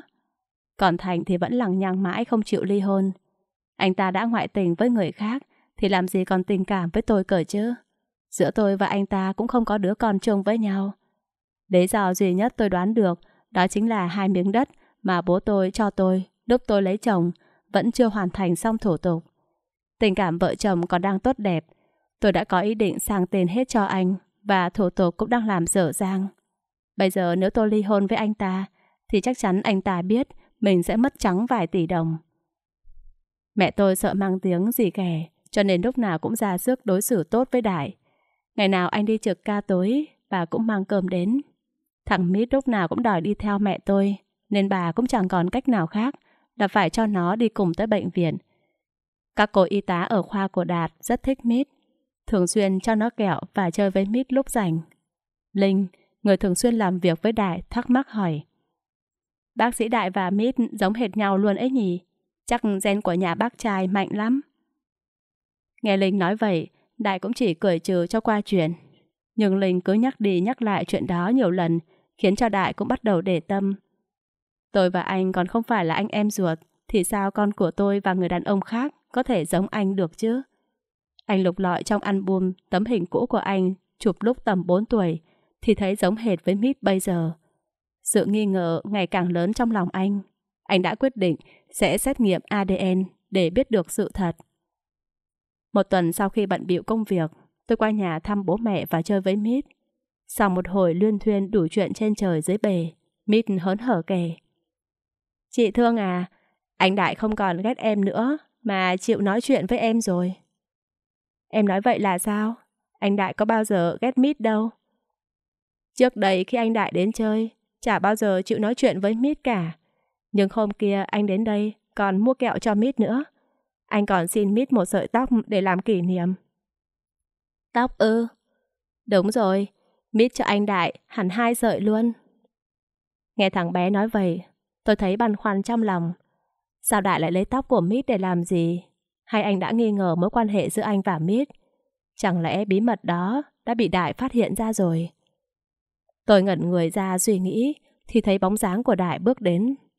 Tôi giật mình như là nhìn thấy ma vậy. Anh lạnh lùng nói Em đi ra đây với anh một lát. Nghe giọng Đại, tôi lại càng lo lắng hơn. Chúng tôi ra quán nước gần nhà nói chuyện. Đại mở đầu bằng một câu hỏi. Tại sao? Tôi nhìn anh hỏi lại. Tại sao cái gì? Biết là con anh, sao em lại giấu anh chuyện này? Anh đã đi xét nghiệm ADN và biết hết mọi chuyện rồi. Tôi nhìn Đại hồi lâu, giờ có chối cũng không thể, cho nên tôi cũng đành đáp lại. Phải, biết là con trai anh. Đại nhắm nghiền mắt, một giọt nước mắt lăn xuống. Năm năm rồi anh mới khóc trước mặt tôi. Chúng ta làm lại được không thương? Anh còn yêu em nhiều lắm. Năm năm nay, anh sống giờ chết giờ. Chưa một giây phút nào anh quên được em. Nhưng... Anh biết em nghĩ gì. Chúng ta không cùng huyết thống. Chúng ta không sai. Nếu như em sợ bố mẹ, anh sẽ tìm cách đưa Mít đi. Cả ba chúng ta rời xa nơi này, được chứ? Chúng ta là một gia đình. Hà cớ gì phải tan đàn sẻ nghé. Anh muốn làm lại để bù đắp tất cả cho hai mẹ con. Xin em đấy, đừng đẩy anh ra. Tôi mặc kệ đúng sai, tôi ôm anh mà khóc. Anh nói đúng, chúng tôi là một gia đình, hà cớ gì phải tan đàn rẻ nghé. Tôi không còn muốn gồng mình giữa cuộc đời đầy rông bão này nữa. Tôi bỗng dưng cảm thấy hối hận. Giá mà tôi có thể sống vì mình một chút. Có lẽ cả hai chúng tôi đã không phải sống khổ sống sở như vậy suốt 5 năm qua. Khi tôi đã bình tĩnh lại, anh hỏi tôi. Chuyện ly hôn của em với chồng thế nào rồi? Chắc nó vẫn không chịu vì muốn thừa kế hai mảnh đất của em chưa gì. Ờ, sao anh biết? Luật sư của chồng em là bạn của anh. Cậu ta nói muốn tìm mọi cách để hòa giải. Làm xong thủ tục trước rồi mới ly hôn. Nhưng anh có cách để em có thể ly hôn nhanh chóng. Cách gì ạ? À? Thời gian qua, anh đã cho người theo dõi Thành và chụp được vô số bằng chứng. Nó và Tuyết cặp kè với nhau. Em có thể dùng nó làm bằng chứng trước tòa để bắt Thành đồng ý ly hôn nhanh chóng. Bằng không kiện tụng ra tòa, thì chỉ có anh ta là người thiệt thòi, vì mình có thể bắt anh ta chia tài sản chung nữa. Cảm ơn anh.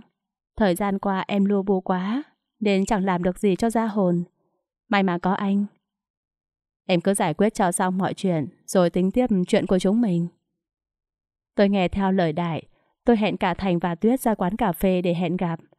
Thành cứ tưởng tôi chỉ hẹn gặp mỗi anh nên khi đến nơi anh ngờ ngác khi thấy Tuyết cũng ở đó. Tôi vứt đống ảnh chụp chung của hai người lên bàn và đe dọa. Anh mau ký vào đơn ly hôn đi. Nếu không, tôi sẽ gửi tất cả những tấm hình này đến nơi làm việc của hai người đấy. Đưa nhau ra tòa.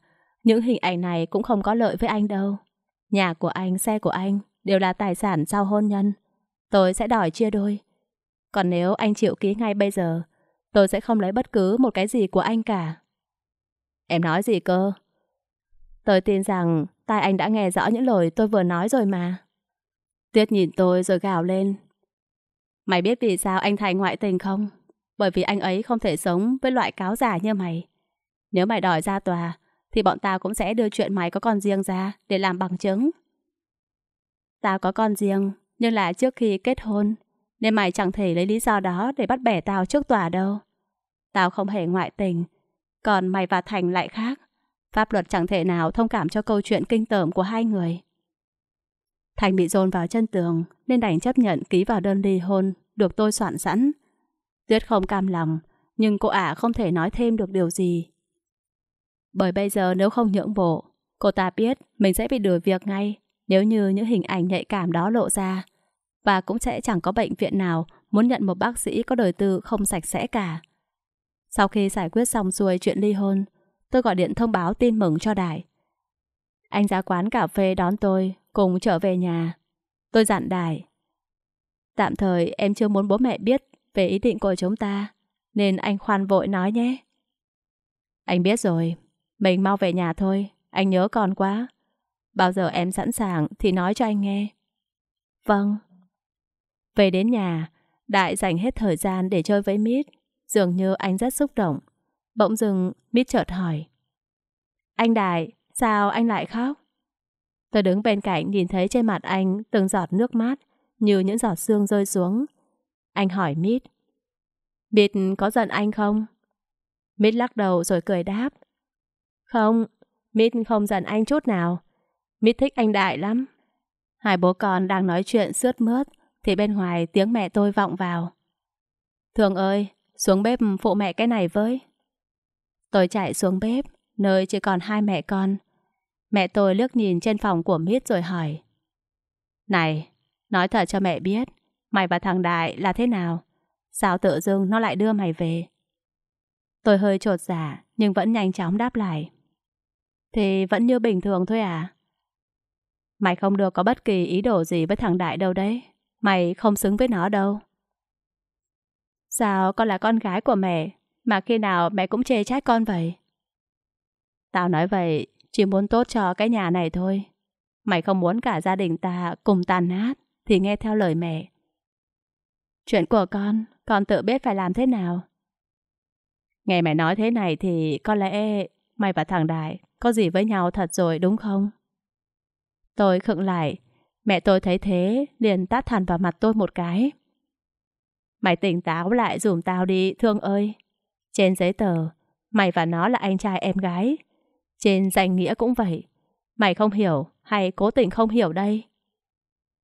Mẹ không thể để cho con sống cuộc đời hạnh phúc của con sao?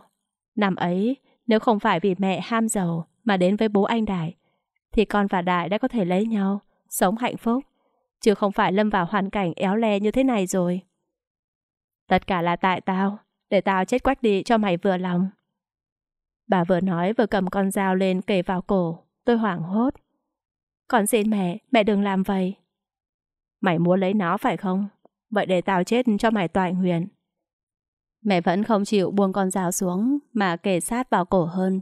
Những giọt máu nhỏ đã bắt đầu khẽ rơi xuống. Ở trên nhà, Đại và Mít đang chơi với nhau trong phòng có cách âm, nên không biết đến sự hỗn loạn đang xảy ra dưới bếp. Tôi ghét mẹ vì đã khiến cuộc đời tôi trở nên bế tắc, khó khăn. Nhưng tôi cũng là con gái của bà. Tôi không thể chờ mắt nhìn bà tự kết liễu cuộc đời như vậy. Tôi khóc trong đau đớn. Còn xin mẹ, mẹ đừng làm như thế. Con sẽ rời xa anh Đại và biến mất mãi mãi. Mẹ tôi lúc này mới từ từ buông dao. Tôi cầm con dao ném thẳng vào một góc, rồi ngồi phịch xuống khóc nức nở. Mẹ tôi lạnh lùng nói tiếp. Tao sẽ sắp xếp cho mày đi nước ngoài. Mẹ đừng ép người quá. Con nói là con sẽ làm được. Bây giờ con mà đi nước ngoài thì phải làm sao khi con nhớ mít chứ? Đã có tao lo rồi. Đừng có suy nghĩ gì nhiều, mà cứ đi đi. Mẹ tôi vừa nói dứt câu thì Đại mở cửa nhà bếp bước vào. Tôi cứ đinh ninh cuộc nói chuyện này, chỉ có hai mẹ con tôi biết. Nhưng hóa ra Đại đã ở bên ngoài nghe thấy hết cả. Đại cất tiếng. Em không được đi đâu cả. Em phải ở lại với anh. Còn đối với mẹ, con cảm ơn mẹ mấy năm qua đã nuôi dưỡng Mít. Kể từ giây phút này, con sẽ nhận lại Mít và đến với Thương. Con nói ra những lời này như một thông báo về quyết định của con, chứ không phải là cầu xin mẹ. Nhưng, nhưng hai đứa là anh em trên giấy tờ đấy. Con sẽ làm mọi cách, vận dụng hết tất cả các mối quan hệ để có thể phá bỏ hai chữ anh em đó. Thôi, con xin phép mẹ. Từ hôm nay con đón Mít và Thường về chung sống với con luôn. Nói xong, Đại đỡ tôi dậy rời khỏi căn bếp đó, mặc cho mẹ tôi quỷ khóc van xin anh. Đến nhà trên, anh bế Mít ra và hỏi. Anh hỏi Mít một chuyện nhé. Mít ngây thơ đáp lại. Chuyện gì ạ?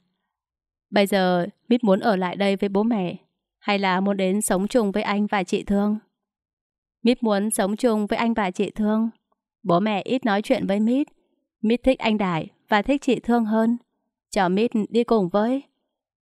Được rồi, vậy chúng ta đi thôi. Khi nghe đứa con của mình thốt ra những câu nói như vậy, Đại không cầm được nước mắt. Anh ôm chầm lấy Mít, một tay còn lại nắm chặt lấy bàn tay tôi, rồi cùng nhau đi đến căn hộ nơi anh đang ở. Ba người chúng tôi đã đánh mất khoảng thời gian 5 năm ở bên nhau. Bây giờ đối với tôi, khi đã được ở cạnh Mít cùng với anh, mỗi giây phút đều trôi qua đáng quý. Về đến nơi, trời đã về khuya, Đại bế Mít vào phòng ngủ, rồi ra ghế sofa trò chuyện với tôi. Anh ôm chầm lấy tôi, hơi ấm cơ thể của anh hòa quyện vào cơ thể tôi.